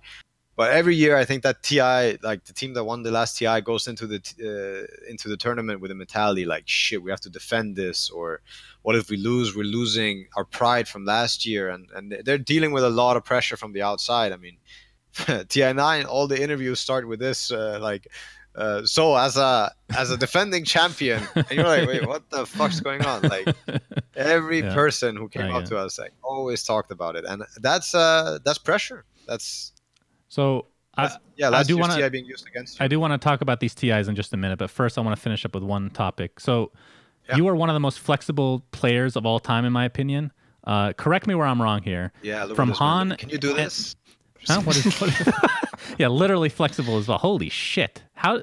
Damn it! I can't do that. Jesus, um, you're like an alien. That's like an alien looking hand. now Um, you've got me trying to do that. Did you do this? Yeah, you got it. what? You got it. Actually, nice. Not many people can do it. I no, I'm. It's rigid. You know, I don't know what that means Yeah, for me. it But It's a Danish good- thing. We learn it in school. Good flex, good flex, man. All right, so Weird flex, You- okay. Weird. you have played, if I'm not mistaken, every single position professionally other than three. I couldn't think of when you played off lane. Is this true? I played. Uh, I played some standing off lane in HoN, or maybe for a little bit I played some off lane in HoN. Um, Stand in, or is it official like Fnatic games? no, it was like no, it was like Fnatic, like it's a standing. I think it was like tryout where, because Trixi had moved. I was trying out off lane, or I don't know how I ended up off lane. I don't actually remember, but yeah, basically never played three like Okay. for extended period of time. But I played the rest. That that's very cool. So, in terms of how much you've grown as a player, your leadership, how do you think that that has changed since HoN? Like, how have you progressed? In it? Is this like a natural thing you feel like, or is it something you learn on the fly? Is it a mix? Nah, um, learn on the fly. I like what you did there. Um, no pun intended. Hey. hey. a no definitely. I'm not a born leader. I would never claim that i'm a born leader. I i've grown into taking responsibility uh it, i but i'm naturally i naturally shed off responsibility. Like i, I don't want it. Um i'm still that kind of a person but i enjoy uh part like on taking responsibility when needed and time is there it's a nice challenge but it doesn't naturally happen to me. I i thrive mostly around people who do have that natural leadership, uh, becomes a very nice um, balance. Uh, but throughout the years, I mean, I've gone through my own. I think every human being on on Earth does it, right? But its own personal journey, and I've gone through mine. Uh, still going through mine, and I've learned a lot. Um, learned a lot about myself. Learned a lot about uh, how people perceive me, and um, what my role can be. What kind of a role I can fulfill.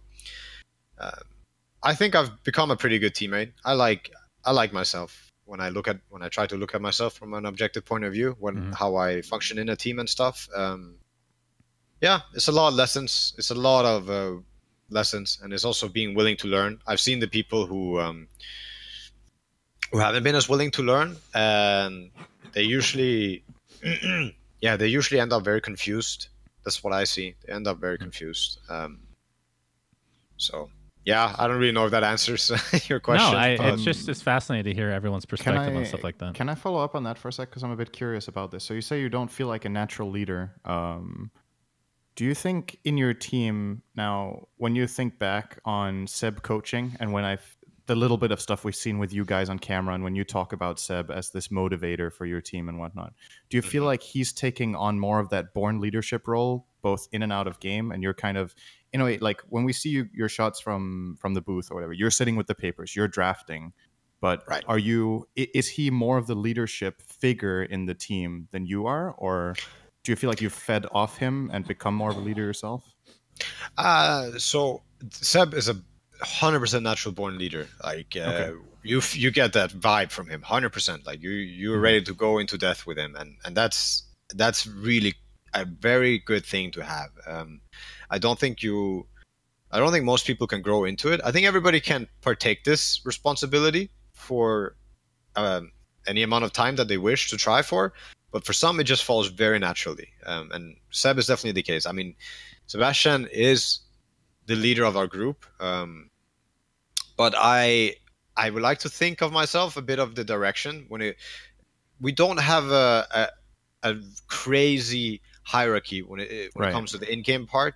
In-game part is a very nice fluctuant dynamic. Um, without revealing too much, I mean, people are allowed to do their thing, and uh, there's direction in the game, and a lot of that direction comes from I- would say yes to Sebastian and me. I think a lot of direction comes from us, like because there's a lot of experience that talks, and Topias and Ana they have less experience, but they they fucking know what they want to do better than we will ever know what they want to do. Um, but we know we de- we know what they can do or what we can do as a team at certain stages of the game that they might not see. I mean, for the most part, I think it's the case, but that's you know 30 years of experience that they they, they can't compete with, and that's just how it is. Right. So direction is what we're more feeding um, when it comes to the Dota part. But outside the game, it's a nice thing, like a nice dynamic. Sebastian's definitely a natural born leader.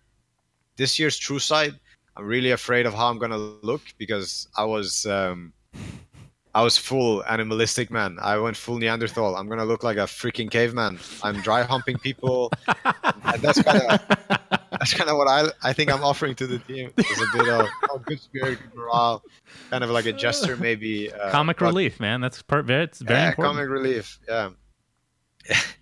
yeah, yeah, I'm, I'm really worried, man. Uh, it's going to be a good, good, good watch, though. I, I hope so. I'm looking forward to it. Uh, so before we move on to OG and the two TIs, which I want you to kind of tell the story of those. Uh, so going back to how many positions you played, taking out the leadership aspect or any communication type stuff, just pure playing wise, what is your favorite position to play? It can't be five. Um, it can't be. Uh, it's five and one. I like both. I really, really enjoy both. Um, yeah, I it's what I've spent the most of my life thinking about. Uh, even though I did play a lot of position two in in HoN, you could see how it naturally trends. So for me, I care more about winning. I care more about winning the game as a team. I don't give a shit about my score. I don't give a shit about my game unless I care, like I should care about it to mm-hmm. win the game. And in HoN, I naturally started progressing more to the Witch Slayers and the Polywargs mid, which is you know Lion and Rasta, and it was a, a big camping meta. And I went from you know the greediest as motherfucking Shadow Fiend mid, getting all the farm, all the resources into that more supportive, uh, playmaking, protecting, uh, stabilizing, controlling mid. And that's because I really want to win the game, and I think I do the best from five and one. Hmm. But the one position has to be the right position too. Otherwise, I'm not going to enjoy it as much. Um, I'm not. I, I shouldn't be playing it then. It has to be a good relationship between me and whoever plays the position too. Then I can do it. It's like I couldn't play position one with um Sum- no, I, I, could play with Sumail. I could per- perfectly play with Sumail, or I could play with Topson, or I could play it with. Um, uh, I mean, there's a few others. I couldn't, for example, play it with Super. I think uh, I wouldn't enjoy it so much. Super or the the moves, like the, the, the types who are going to play the same way I would play position two exclusively, mm-hmm. because my position one I really want to be able to play both, similar to Miracle. Miracle is like plays both kind of styles. He's able to um, take all the resources, become the strategy, become the main denominator for the game, or he can be- become the guy that enables that. Uh, I like that. I like bouncing in between the two, but I also just really enjoy playing position five. Playing position five it's so much fun, man. It's especially in the latest patches. It's been so much fun. I'm jealous. Two tones, what? Yeah, that's Jealous true. well, because I I've never enjoyed position five. I'm very stubborn. Imagine this. Ah. Imagine this in your games. Okay. Mm-hmm. Imagine dying and feeling good, feeling like this was a good play. Like you set up yeah. your team for success and you died. Because hey, in your games, thing, when though. you die, you're like, I fucked up. It's it feels really good to set your teammates up for success and feel like you did it. I am a very selfish very player, so it could never feel good for me to die. You see, I care yeah, only about my score. Okay. I think yeah, honestly, I think five is rough for you then, man. Five's gonna be really rough, man. You have to embrace to death. I think that's an inherently really good point, probably about why position five is the least appealing one to pub players. Because I mean, obviously, it's the least flashy, right? But it's also when you're playing a game, you want to you want to have that feeling of I'm doing something crazy or I'm I'm owning, you know. And fives don't get that feeling as much in the game. But that's what that's what is saying. I think that's a really good point. Like the direction fives have taken in the last year or two, we have been buffed a lot in terms of overall game impact.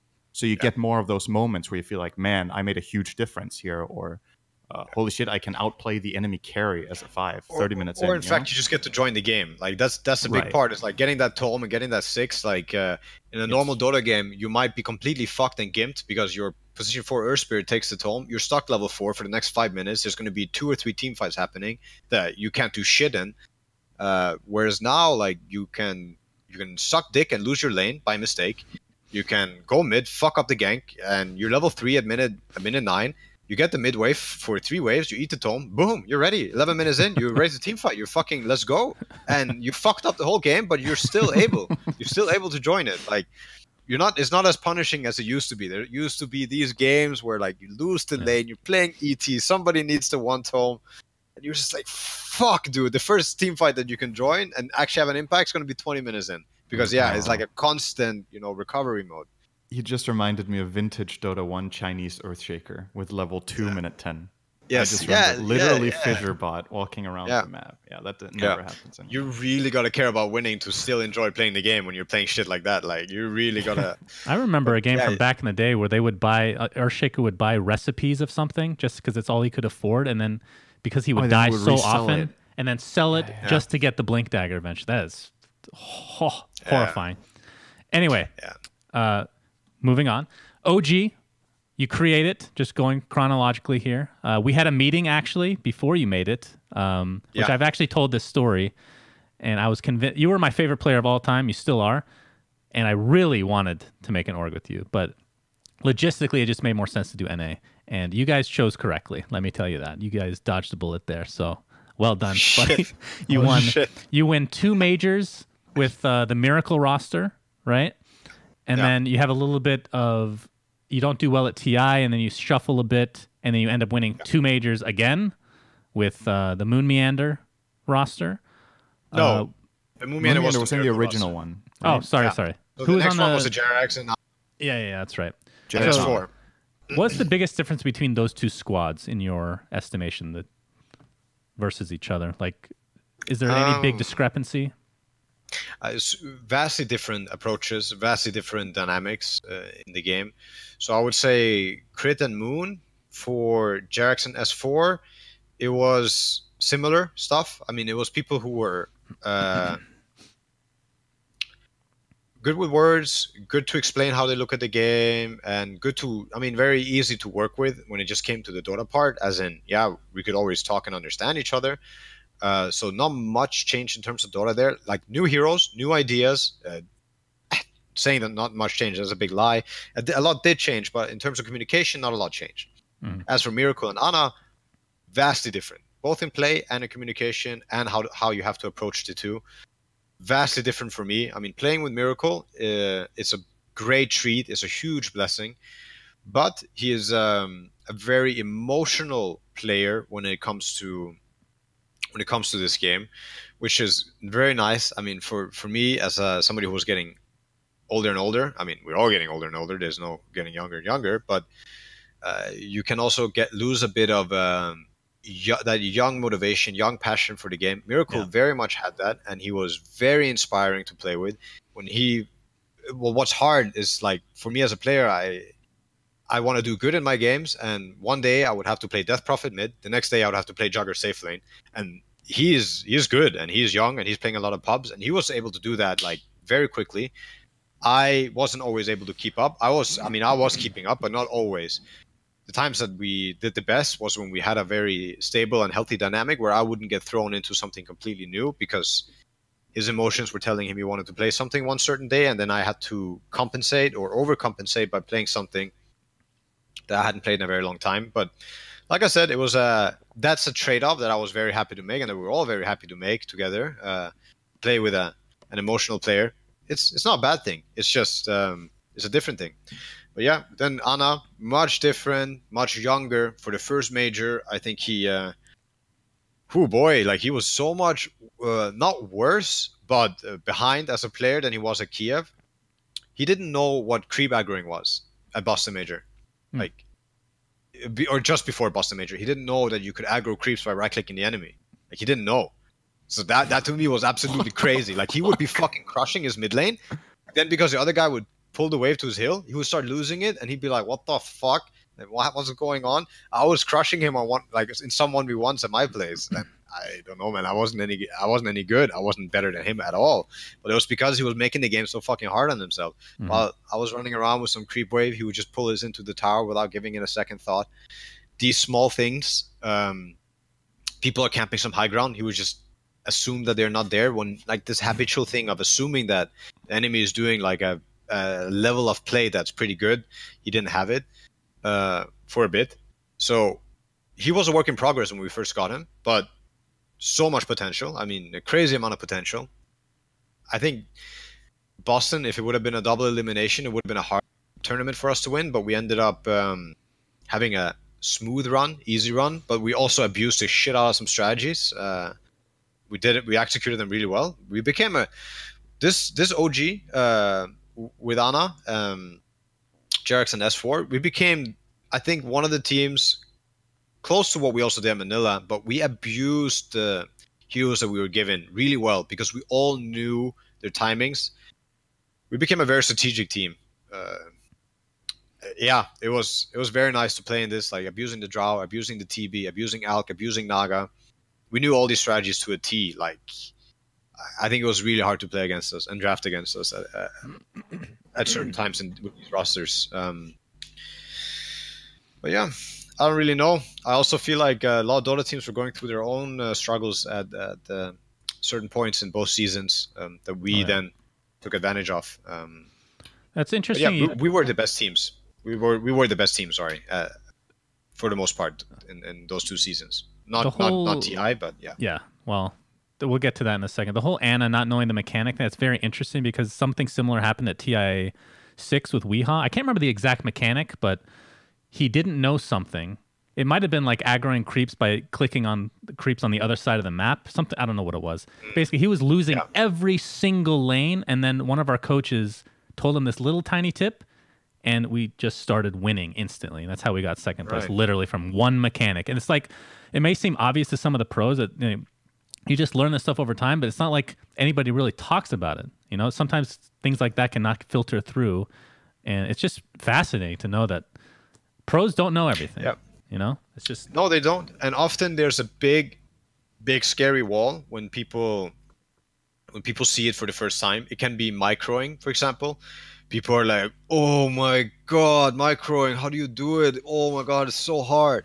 Well, if you do the right keybinds and you play around with it for two days, it becomes like a fun, interactive, small game in itself for you. And give it one, two weeks, you might even become freaking good at it, or it becomes super manageable. It's the same thing. Like I always use the same analogy. It's the same thing as driving a manual uh, manual stick in a car. For the first couple days or even the first week, you're monka essing the shit out of the, the like the gears, right? You're like fucking hell, I have to change gear and you have to find the clutch and everything. Two weeks, two weeks in, you don't even think about it. You're not even giving it a second thought. You're thinking about something else. You're looking at the road. You're thinking about your shopping list, wherever it is. You get that excess um, space to draw it back into Dota. Like you might be struggling with micro for a week or two, but then all of a sudden you find yourself thinking about the fight, how you're going to centaur stomp this guy while using the penitence on another guy, and it becomes a walk in walk in the park. Like it's not so hard, it's not so um, insurmountable. Like that scary wall, like yeah, yeah it becomes much less. Muscle Just, memory is a beautiful yeah. thing. Very oh, yeah. very beautiful. Yeah. Okay, so moving on again. Uh, so before TI eight, Fly leaves, S4 leaves for EG. You get, your roster is essentially in shambles from many people's perspective. What was that like for you that period? Yeah, so it was very dark days. It was it was a it was almost straight out of a out of a book like uh, that whole event. Mm-hmm. Um, uh, team was in shambles. We were probably deep down all thinking the same thing like are we going to call it quits? Are we going to stop right here? Because that was a very real possibility. I i think we were all at that moment just it's almost like a heavy thing just got lifted off your shoulders. Not that it was willingly not that you wanted it but you almost had the chance to be like fuck it um, no point you know going through that hardship. Like imagine pulling like you, you what what we're thinking at some level, probably all of us, I mean, at least for myself, is what if we just make an open qualifier team? It's going to be half ass. We're going to lose open qualifier, and then that's that, you know? I'm going to fucking watch TI from home.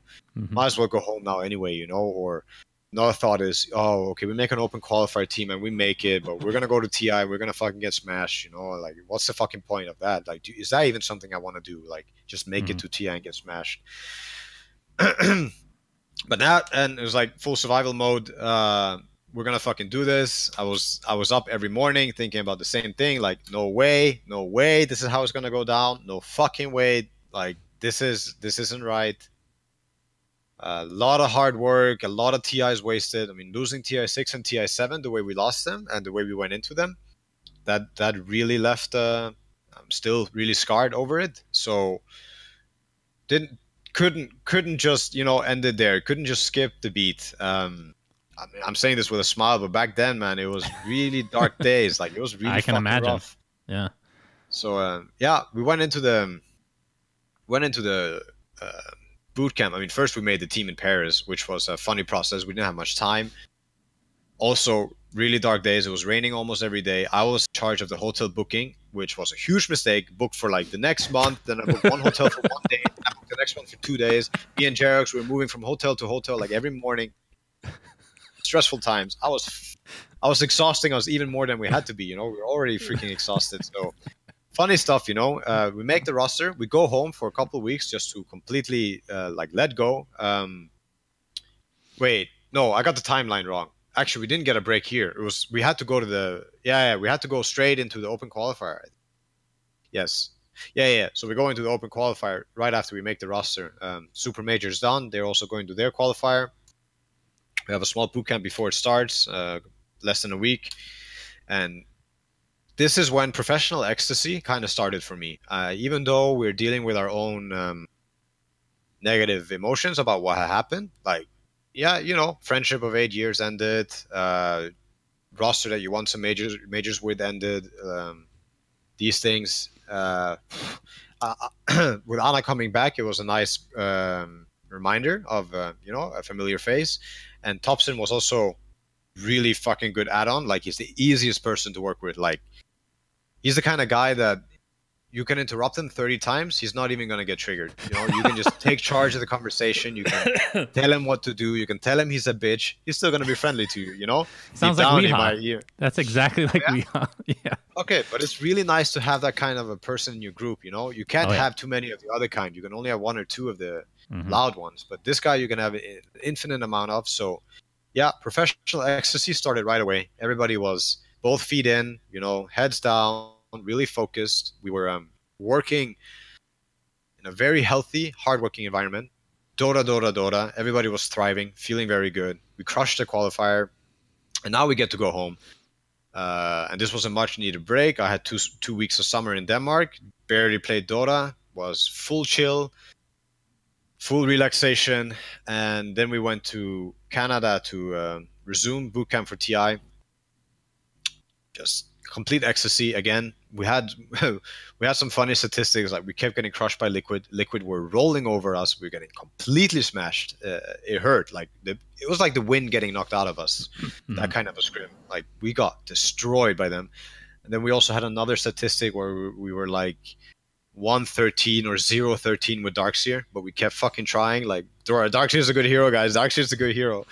Uh, but other than that, the bootcamp was very successful. We won we won more games than we lost, and we felt very confident. We had so many strategies. We felt like we were the best team, um, or that at the very least we could be the best team. But if we weren't already, um, and yeah, we built a huge team morale. We we built a wall around ourselves. Nobody could penetrate.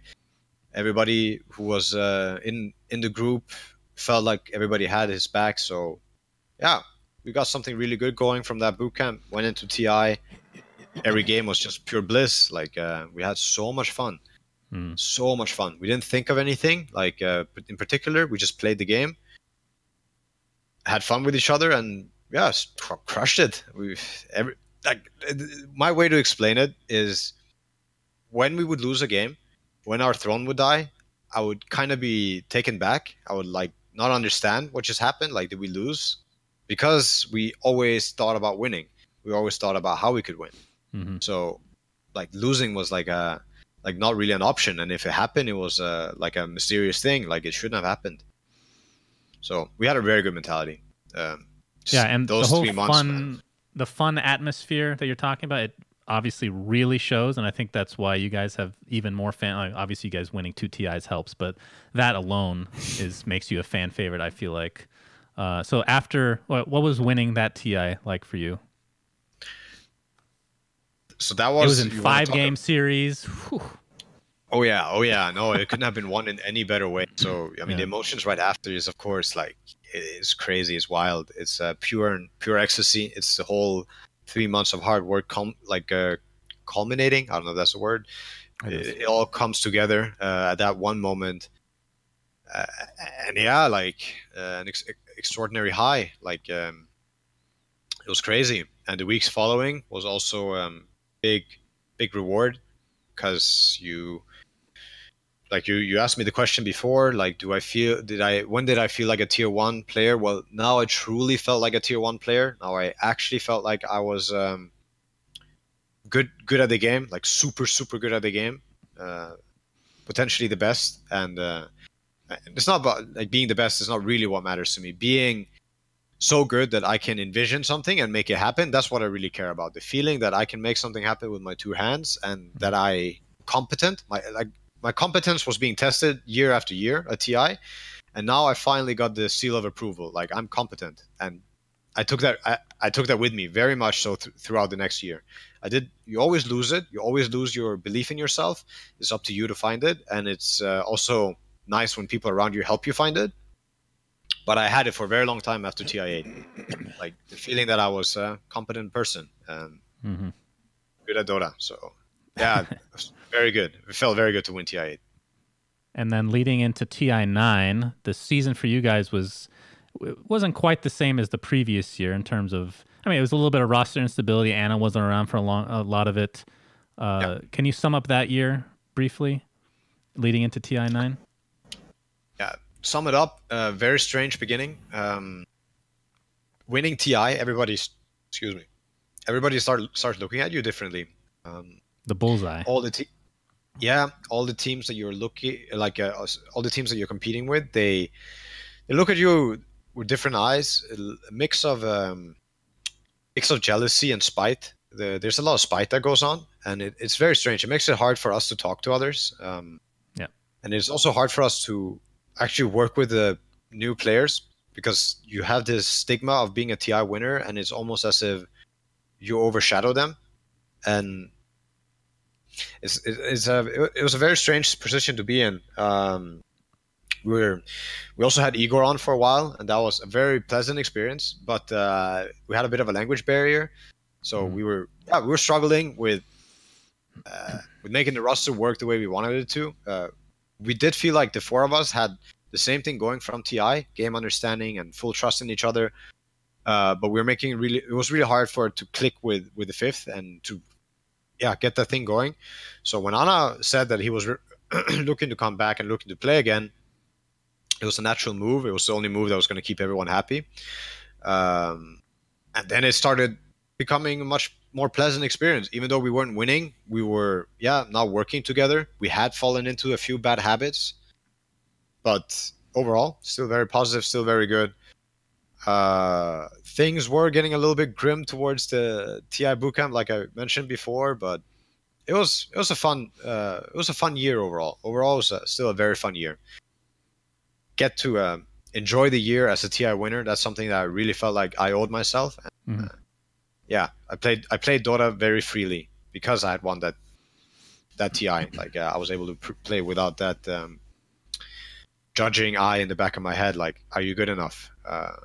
Now I was trusting myself. You know, so my best you... example, just one one one example, just to make is my best example is when I'm back in base and I'm not full mana. I sometimes buy that fucking clarity now without doubting myself because fuck that 50 gold. I want TI. Fuck that. Yeah, I get that mana regen. I get to so, do that now. I, I wanted to ask you. This is something I've been thinking about because when you see, like, again, there's only so much you can really read from camera. But when it comes to the celebration of you guys winning the second TI compared to the first, um, can you try to explain like the difference in emotion of yes, I finally did it, and now oh my god, I'm the first one who ever did it twice. Like, yeah, is is there a good way of putting this into words, or can you not really describe it? Like, w- was there a bigger win for you, for example, of the two? Um, so the first one was uh, I've answered this question a few times. I'm gonna try to answer it better now because I've thought about it. And the first time was a be- uh, a bigger win on my confidence. Um, the second win was a bet- was a bigger win on keeping my confidence for sure. It's uh, it's a very uh, reassuring thing that you can do it again. Of course, um, mm-hmm. not to let it get to to my head or to to dig into this, but it's very funny. We won the first uh, major with OG, and it was lucky. It was a fluke. Second one, we were abusing strategies, or Miracle was carrying. Third one, uh, illusion abuse. Fourth one, alchemist abuse. First TI fluke. You know, there's always something. There's always freaking something. Winning yeah. TI twice now, that was the most reassur- like that was the reassuring of the reassurance. Like now, I should never doubt myself. And the, the people here and, and who were there in that booth and the people who were working around us should never doubt themselves. What we're doing, we're doing it right, and hmm it's important to have that and carry that with us. Um, but yeah, definitely was first one was bigger for the confidence. Second one was bigger for keeping it. Um, it was there's always a big difference is how you win. So the first one we won the game five in a very intense series. We had played three a best of three against LGD. It was also super fucking intense. Uh, and against Liquid, we managed to break them. And I also think that you know they had a very long day and a long day before. They had a lower bracket run the whole way. Uh, and we managed to break them, also break them a bit in the drafting game too. So the emotions are a little dampened, you know, at the winning moment because of that. I mean, holy shit! Like you, you can also watch it at uh, the Kiev game five. Like when a finals is intense, the celebration also goes with it. Um, Right. Yeah, definitely. So, how big of an impact did having a psychologist have on your team? Uh, Mia was great. Yeah. Yeah. Uh, is there anything you want to add? Well, I was just gonna say because you, you had some health issues previous to the tournament, right?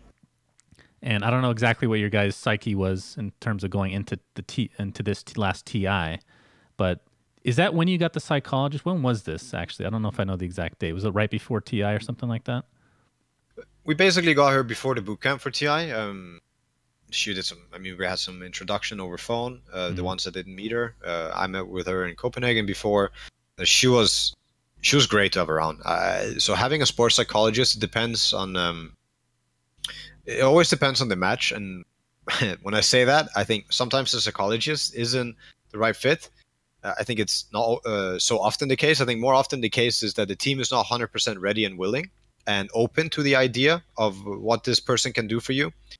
Uh, so she's there from a very psych- psychological uh, point, uh, standpoint. First of all, um, well, uh, I shouldn't I shouldn't say like that. She's a, there from a very sports point of view. First of all, like sports psychology uh, viewpoint of all. First of all, we had a lot of things on lockdown when it came to atmosphere, habits, um, people being enabled, and these are the things I think first and foremost she's going to try to help with um, to make that thing happen.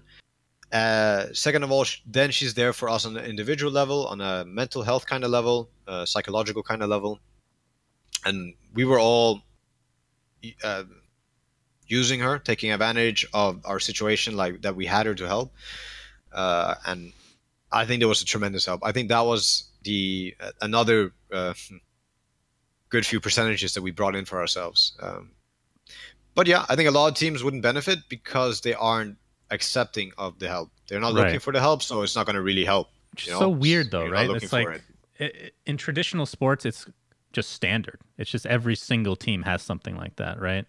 And I know that we don't want to compare ourselves to traditional sports a lot of the time, but stuff like that, I feel like it, like how does it even hurt? Like especially with kids that are this young, like you're still mid twenties. That's still fucking young, you know. Yeah. Having somebody like that that has experience and help each other talk. Like we're talking about a bunch of probably introverts that have a hard time talking to each other in general and Yeah. one person gets mad then somebody hates another per- like there's so much drama that you can just bypass by having somebody on the outside just telling hey this is how you're supposed to do it blah blah But blah yeah, right I I feel like it's easy for us to say and understand that because we're like experienced with life in general. i'm an a lot old of these fucking pro man players. yeah I mean, some of these pro players, right? They're they might be introverted, but they're still introverts that have a huge ego that think you know True. they're. They, I mean, it, you need to have an ego to an extent to to be the best at, at it, right? You need to believe in yourself. But Right. it's this it's this dangerous line where you can believe in yourself, but you can also believe in yourself so much more than everybody else, including on your team, that it becomes arrogance, right? And if you reach that point of arrogance, you're like, what's a psychologist going to help me? You know, I'm the best. Like, if we're losing, it's and that Yeah. already is a bad mentality, right? So you can understand that if you want to have a big problem. psychologist for a team, if you want to have a psychologist for a team, I think all five players have to be in the right mindset. If it's even one person in the team that isn't welcoming the help or doesn't understand it, I feel like it might be a detriment in the end because it's going to split people more than it unites them in a way, right? Uh, maybe I totally am I agree. wrong on this, N0tail, or what do you think? Like, ah, that sounds about right. Uh, I mean, it, it's also what kind of a what kind of an example are you setting that if you have a group? I mean, it's basically like a group project. Somebody's pushing the project forward or coming up with ideas, and then somebody's being um, negative or arrogant to the point where it's going to shut down, you know, forward motion, forward progression. I mean, this is a big fucking problem. It's a big problem in any project, in any group thing. Um, yeah, yeah. I there's a lot of lack of maturity in um, in the scene, and I also think it comes a lot. this is where it's probably gonna why it's gonna persist for a long time, if not forever. Uh, in soccer, to move up, to move up the ranks, or I guess it's like this in most sports, you're gonna have to eventually go to go to the pro guys, like the people who have made it and whatever, or go to the places that they've been working out or training at or you know practicing. And this should be a humbling experience. Pub players, where do they go? They don't you know, uh, graduate to a high level pub.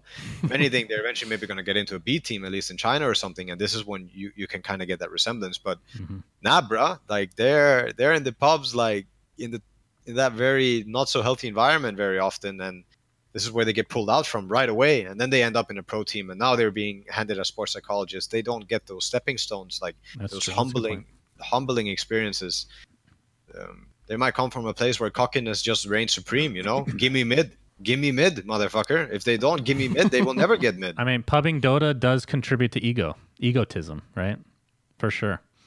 Um, or if you're climbing up the, I mean, Slacks climbed like uh, a few thousand thousands MMR just from being a nice guy, right? So you, uh, he also got reward. Have you actually or like watched positive, him play? Maybe though? not nice guy. No, I think he's been toxic too. But wasn't that? I definitely believe that being selfless in pubs mm-hmm. when you're playing certain roles is the best way to get MMR. I mean, selfless to an uh, to a balance. A uh, quick example is like this um, miracle um, anti-mage game when he got his. I remember it was eight or nine k uh, first game uh, first in we were in Russia. We were all watching it. Um, it's a balance of selfish and selflessness because you in the end what dictates is how much you want to win if you mm-hmm. want to win bad enough you're going to do both uh, and you're going to do it like uh, gradually so he was playing this anti-mage game and he he was being super selfish, like 100%, because he was the only guy who was going to carry this game. He was playing with four way below uh, average players when it came to the level of this game.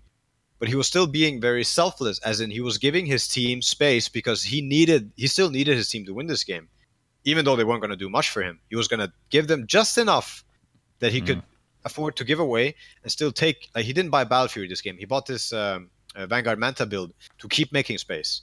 Um, and i think that's a very good example of what you really want to try to achieve is like a level of selfish and selflessness um, for yourself to yeah climb the ranks uh, because i think it's a mix yeah, that's very and you would say that in a team in a team dynamic too, right? It's like a give and give or take thing where there's some things you get your way, but you also, you know, you want to enable everybody to the best of their ability. You don't shut a guy down and say, "This is exactly how you're going to play." Everybody has yeah. their strengths that they need, but you also yeah. make space right for everybody so else. there's like two examples uh, or two two things i could say to that is like okay so you have the example of me playing with miracle if i told him like yo bro i only want you guys to enable my tb naga and drow strats because they need enabling and he one day goes like can i play alchemist and i'm like yeah sure but only if i play one of these three and it doesn't fit right i'm not i'm being 100% selfish in this scenario whereas if i had the mix or we both had the mix, he could help me one day and I could help him the next. I'm going to play whatever your Juggernaut for your Alchemist or Nyx or Ursa or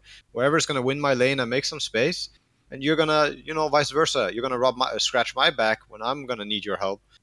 Uh, having having the ability to do both is great in Dota. Dota asks both of you, uh, like both things from you, to be selfish and to be selfless. Because yeah, team game, team game, yo. Sometimes you're gonna have the ball, sometimes you're hmm. not. All right, last question that I have, and then we're going to have a very short, like five minute trivia thing that I think would be fun. I don't want to make this a very long conversation because me and Cinder have talked the shit out of this topic.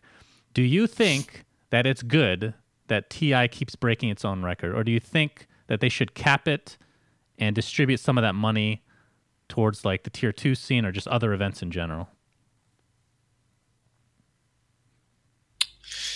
Hmm. Oh, it's hard to say no when you win twice, isn't it? uh, uh, I definitely think that there should be ste- uh, steps taken to help the scene, and I think a lot of it has to do with money being made.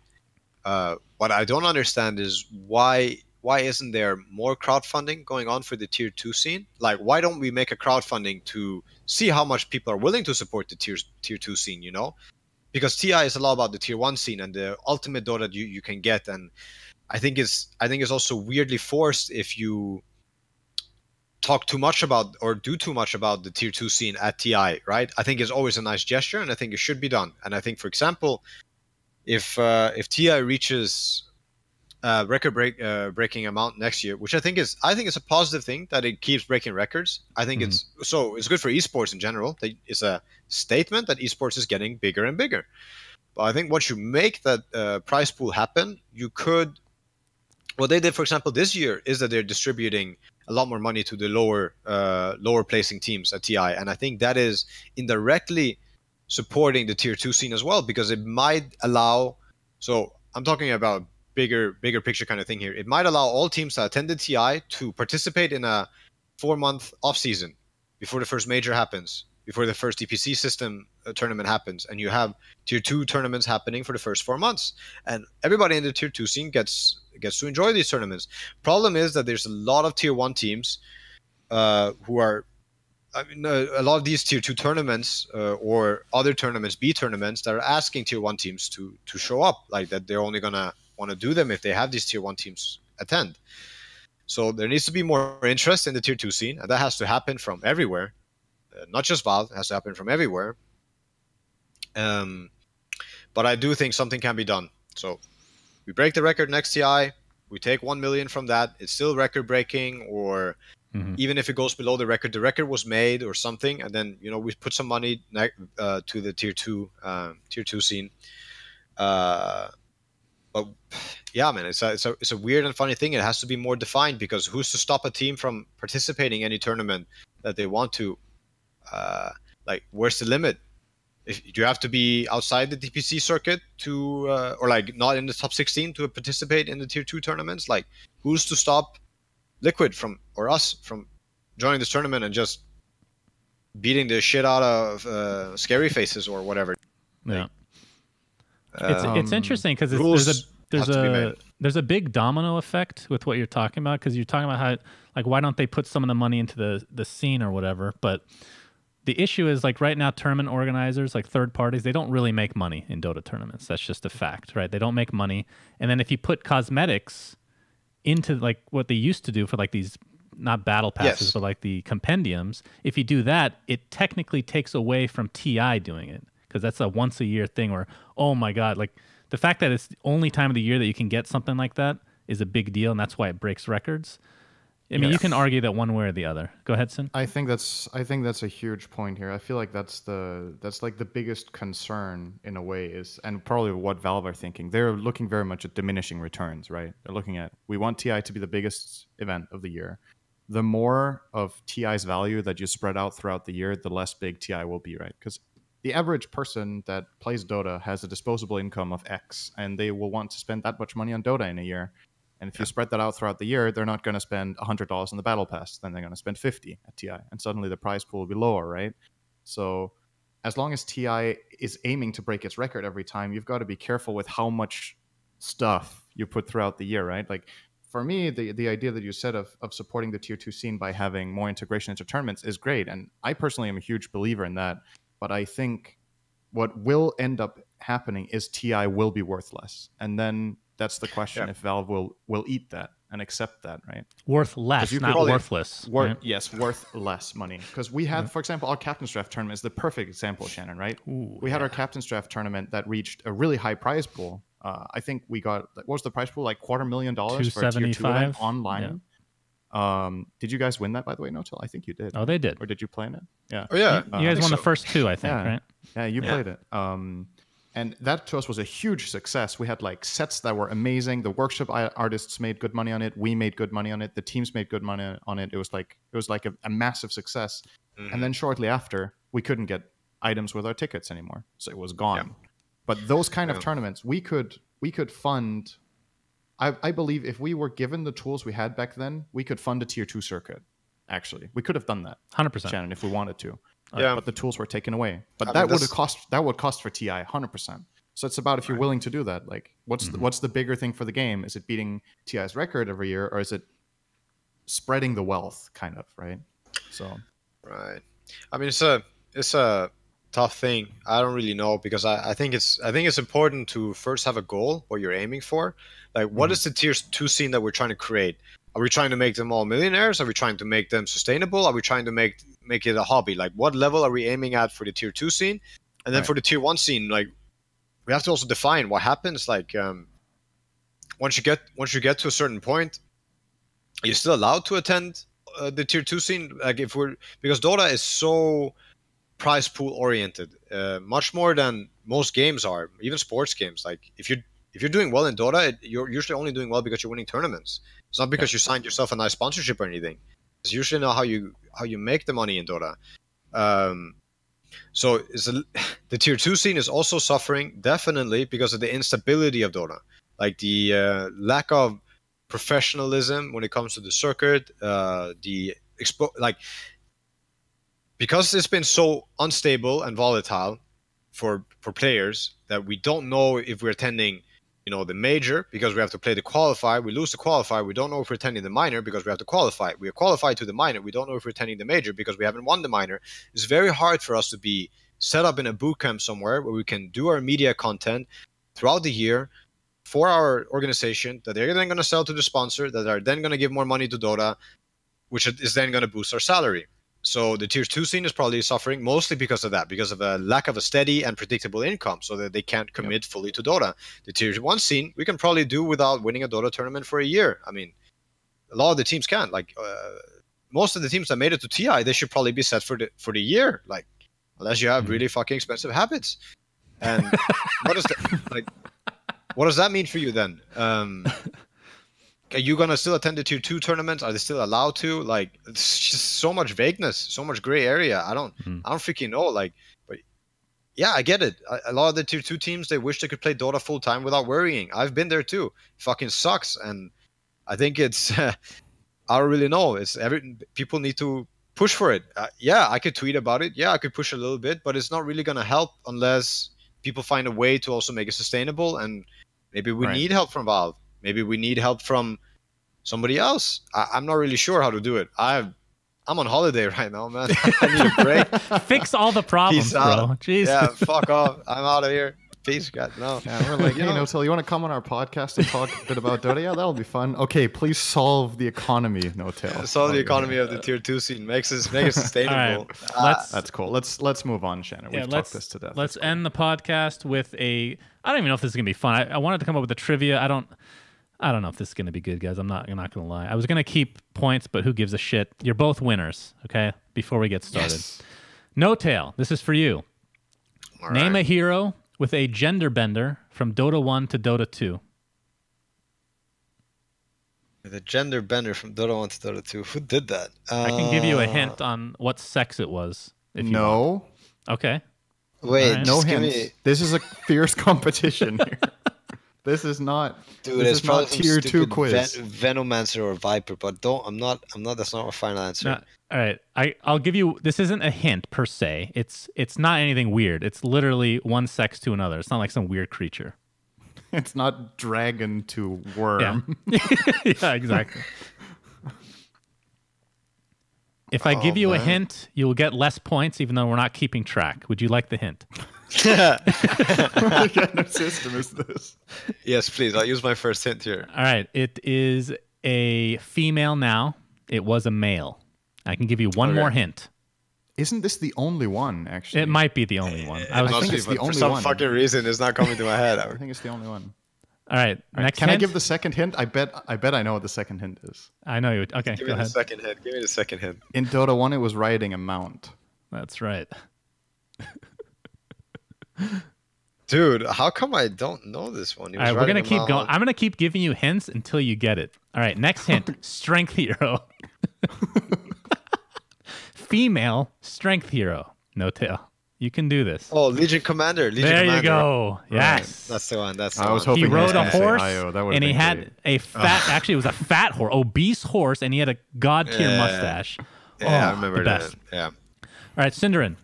Even though N0tail actually spoiled this, I don't know if you were actually listening to him. This is a good test to see if you were. Oh, What was N0tail known best for in HoN when he played solo mid? What hero? If I had what to narrow it down single to one. hero? Yeah, it's a single hero for me. It's like easily number one. I think Poliwag Priest was that what it was? called? Wow, you Wow, actually Poliwag. remember. No, poly, Close. Poliwag Priest, right? Polywog. Polywog. Polywog. Polywarg. Oh, that's that's still one. That's one Polywog point out priest who was whatever. Rasta. Yes, aka Shadow Yeah. Shaman. All right. I actually knew N0tail. that before this interview. I've heard it before. Oh, okay, cool. Uh, no tail. syndereN has won DreamHack twice. Name both teams and who they played. Uh, so MTW versus Navi. Okay, Um, 2012. Mm-hmm. This other one was 2011, year before. Yeah, I remember that, but I, I remember the team. This one No, is don't hilarious. The best team name of all time. Wait, were you on Team Shakira? Was that the one? No. No, No, that was a French only, I think. I'll give you the initials because that doesn't really give it away. Uh, WHB. What? what? All right, they. I'll tell you. Bros. I don't. I don't freaking They know. played- Pretty that. close, actually. That's not bad. Before I give the name, I, I couldn't look up this information. It didn't go back this far. It says you guys beat Fnatic. Was that N0tail's Fnatic? No, that was a Ser- I, saw this live. It was a Serbian team. Yeah, yeah. Ah, it was a Serbian Fnatic. Fnatic. I saw it. I saw it live. Yeah, yeah, yeah. But I, I don't remember the name. Uh, Like, what was the full name? Wild Honey Badgers. Wild Honey Badgers. Oh right, dude. That's something I haven't heard in forever. Damn. yeah, that's because okay. it's eight years ago that it was a name at all. All right, So- Yeah, syndereN, no, but I last- saw that live. I saw that. Yeah. Right. Last question for syndereN, and then I'm going to ask you both the same question just to see if you guys can get it. syndereN, man, I, maybe you know this. This is maybe I'll give you easy shit. What was Zeus in HoN? A, a horse. B, a gorilla. Three, a beetle. Or four, A, B, or three? What? a god like he is now. What? It's horse, gorilla, beetle, a god. I'm, I'm laughing because she said options A, B, three, and four. Like, Yeah, you said A, B, three, and four. yeah, you have to say A, B, three, or four, else you get it incorrect. Okay, so what did you say? Horse, gorilla, beetle, or god? Yeah. I made this too easy, I think. I, th- I, I genuinely don't know, Oh, okay. but my best something tells me it's gorilla, but that's that's it. That's my guess. Correct. Man, you are. Okay. Mm, too But good. I have Dude, never seen so this. funny. I don't know why. I've never seen this hero, but for some reason, it just comes to mind. I don't know. I, I couldn't draw it for you. I have no idea what it looks like. He has It's a, a freaking staff, and you should really. Do you remember how he thunderbolted Sh- Shannon? Wasn't it you just like how this? Yeah, yeah. He like no, but he, like stretched his arm and he like put it down, and then it was like really quick, like boom, like he fucking, and he's like a gorilla. oh, yeah, it was It's super like- fast. yeah, that, that one made, a- in terms of the theme, made absolutely no sense. I don't understand what the, Oh, the lore behind a fucking gorilla, but that's okay. Yeah, lightning, lightning gorilla. All right, this one maybe it's too easy. I don't know because you guys did play a lot of Dota One. There are, have been eight deleted items. Like I'm not talking about an item that becomes something else. There have been eight in the history of Dota deleted items. Name four of them. Three should be very easy. Between the two of you, Okay, does this, is this Dota one and two yes. combined? Okay, Oh. Ring of Aquila. Yeah, PMS. And Okay. then- Yeah. And the third one, very easy. sit there and say very easy one more time. Very One more- easy. No, fuck. A new cosmetic with Bounty Hunter just came out recently where he's wielding it. Oh yeah, it. Iron Talon. Iron okay, Talon. that's Oh three. yeah, the Iron Talon. Yeah, yeah, yeah, yeah. Damn. Okay, now we're back in Dota one. I think those are the only Dota Yep, two items that got that's deleted, correct. Right? Yeah. So name one Shit, item. What do we have? Oh, I don't even remember. Wasn't there a Mystic Staff item actually? Uh, does Aegis of the Immortal count? No, it does not. Okay, because that used to be a purchasable item yeah. that got given to. You could argue one of them is uh, an item that became something else, but it's like they never used the name again. It was an item in HoN, actually. Wait, what? This is too hard. It's it's honestly crazy that this has been such a big part of our lives, and we can't remember one out of five. well, it this Nah, like when I was mean, looking at this, I don't this, remember any of the Dota deleted. I, I Like in- remember a lot of items that were changed and how they used to be built. The items, did you know this, Shannon? Fun fact: the items that you build Octarine Core with now was the old recipe for Aghanim's in Dota One. yeah, I knew that, of course. Soul Booster and And you knew that. Of course, I used to buy Ags even back then, bro. I'm a fucking Oh, obsessed. Well, then you All right. probably remember five The- items that were deleted then. The easiest answer of the five is right, Arcane hint. Ring. Too late. Oh, fuck. Oh fuck! Yeah, right. how do So Oh, for yeah. people that don't know, Arcane. Arcane Ring was essentially Arcane Boots, but without the boots. As a Yeah. ring. Um, right. so they deleted that, and then the other four, if you guys are interested, which I had never heard of any somehow? of these. Just no, quickly, I, give I've never heard of these. Okay, so Oh. uh, all right, I'll tell you what makes them. This one is two Wraith Bands, Blade of Alacrity, and Quelling Blade. Oh, I know this one. It's the Impaler or something. It's something that you used to hit towers with. Correct. The Leveler. Uh, the level. you- Leveler. You get siege this one. damage to buildings and to non-hero units. That's a very interesting one that I feel like Sorla Khan could potentially have. Um, and then we have this one is Blades of Attack, Boots, and a recipe. Let's call it. that sounds like what phase boots would have been built with that time, back then. This one you're not going to get. These are like I've never Shit, heard I- of these. This I is don't- I have no Sheds idea. Sheds Cleaver. It gives a passive of 20% movement aura and 1 HP regen. So, a little Okay. strange. I don't remember ever seeing And the final one you're never going to get, I don't think. It's the old recipe, apparently, was called Upgrader. 1500 gold recipe. They didn't have recipes back then. It was just called the Leveler, or the Upgrader, sorry. And then, What? oh, sorry, there's one more. The final What one, do is, they do? that's it. It's just a recipe. Literally a recipe. Well, no fucking wonder they deleted it from the game. No fucking wonder. Yeah. And then the final one is Leather Tunic. oh. 950 gold for 7 armor.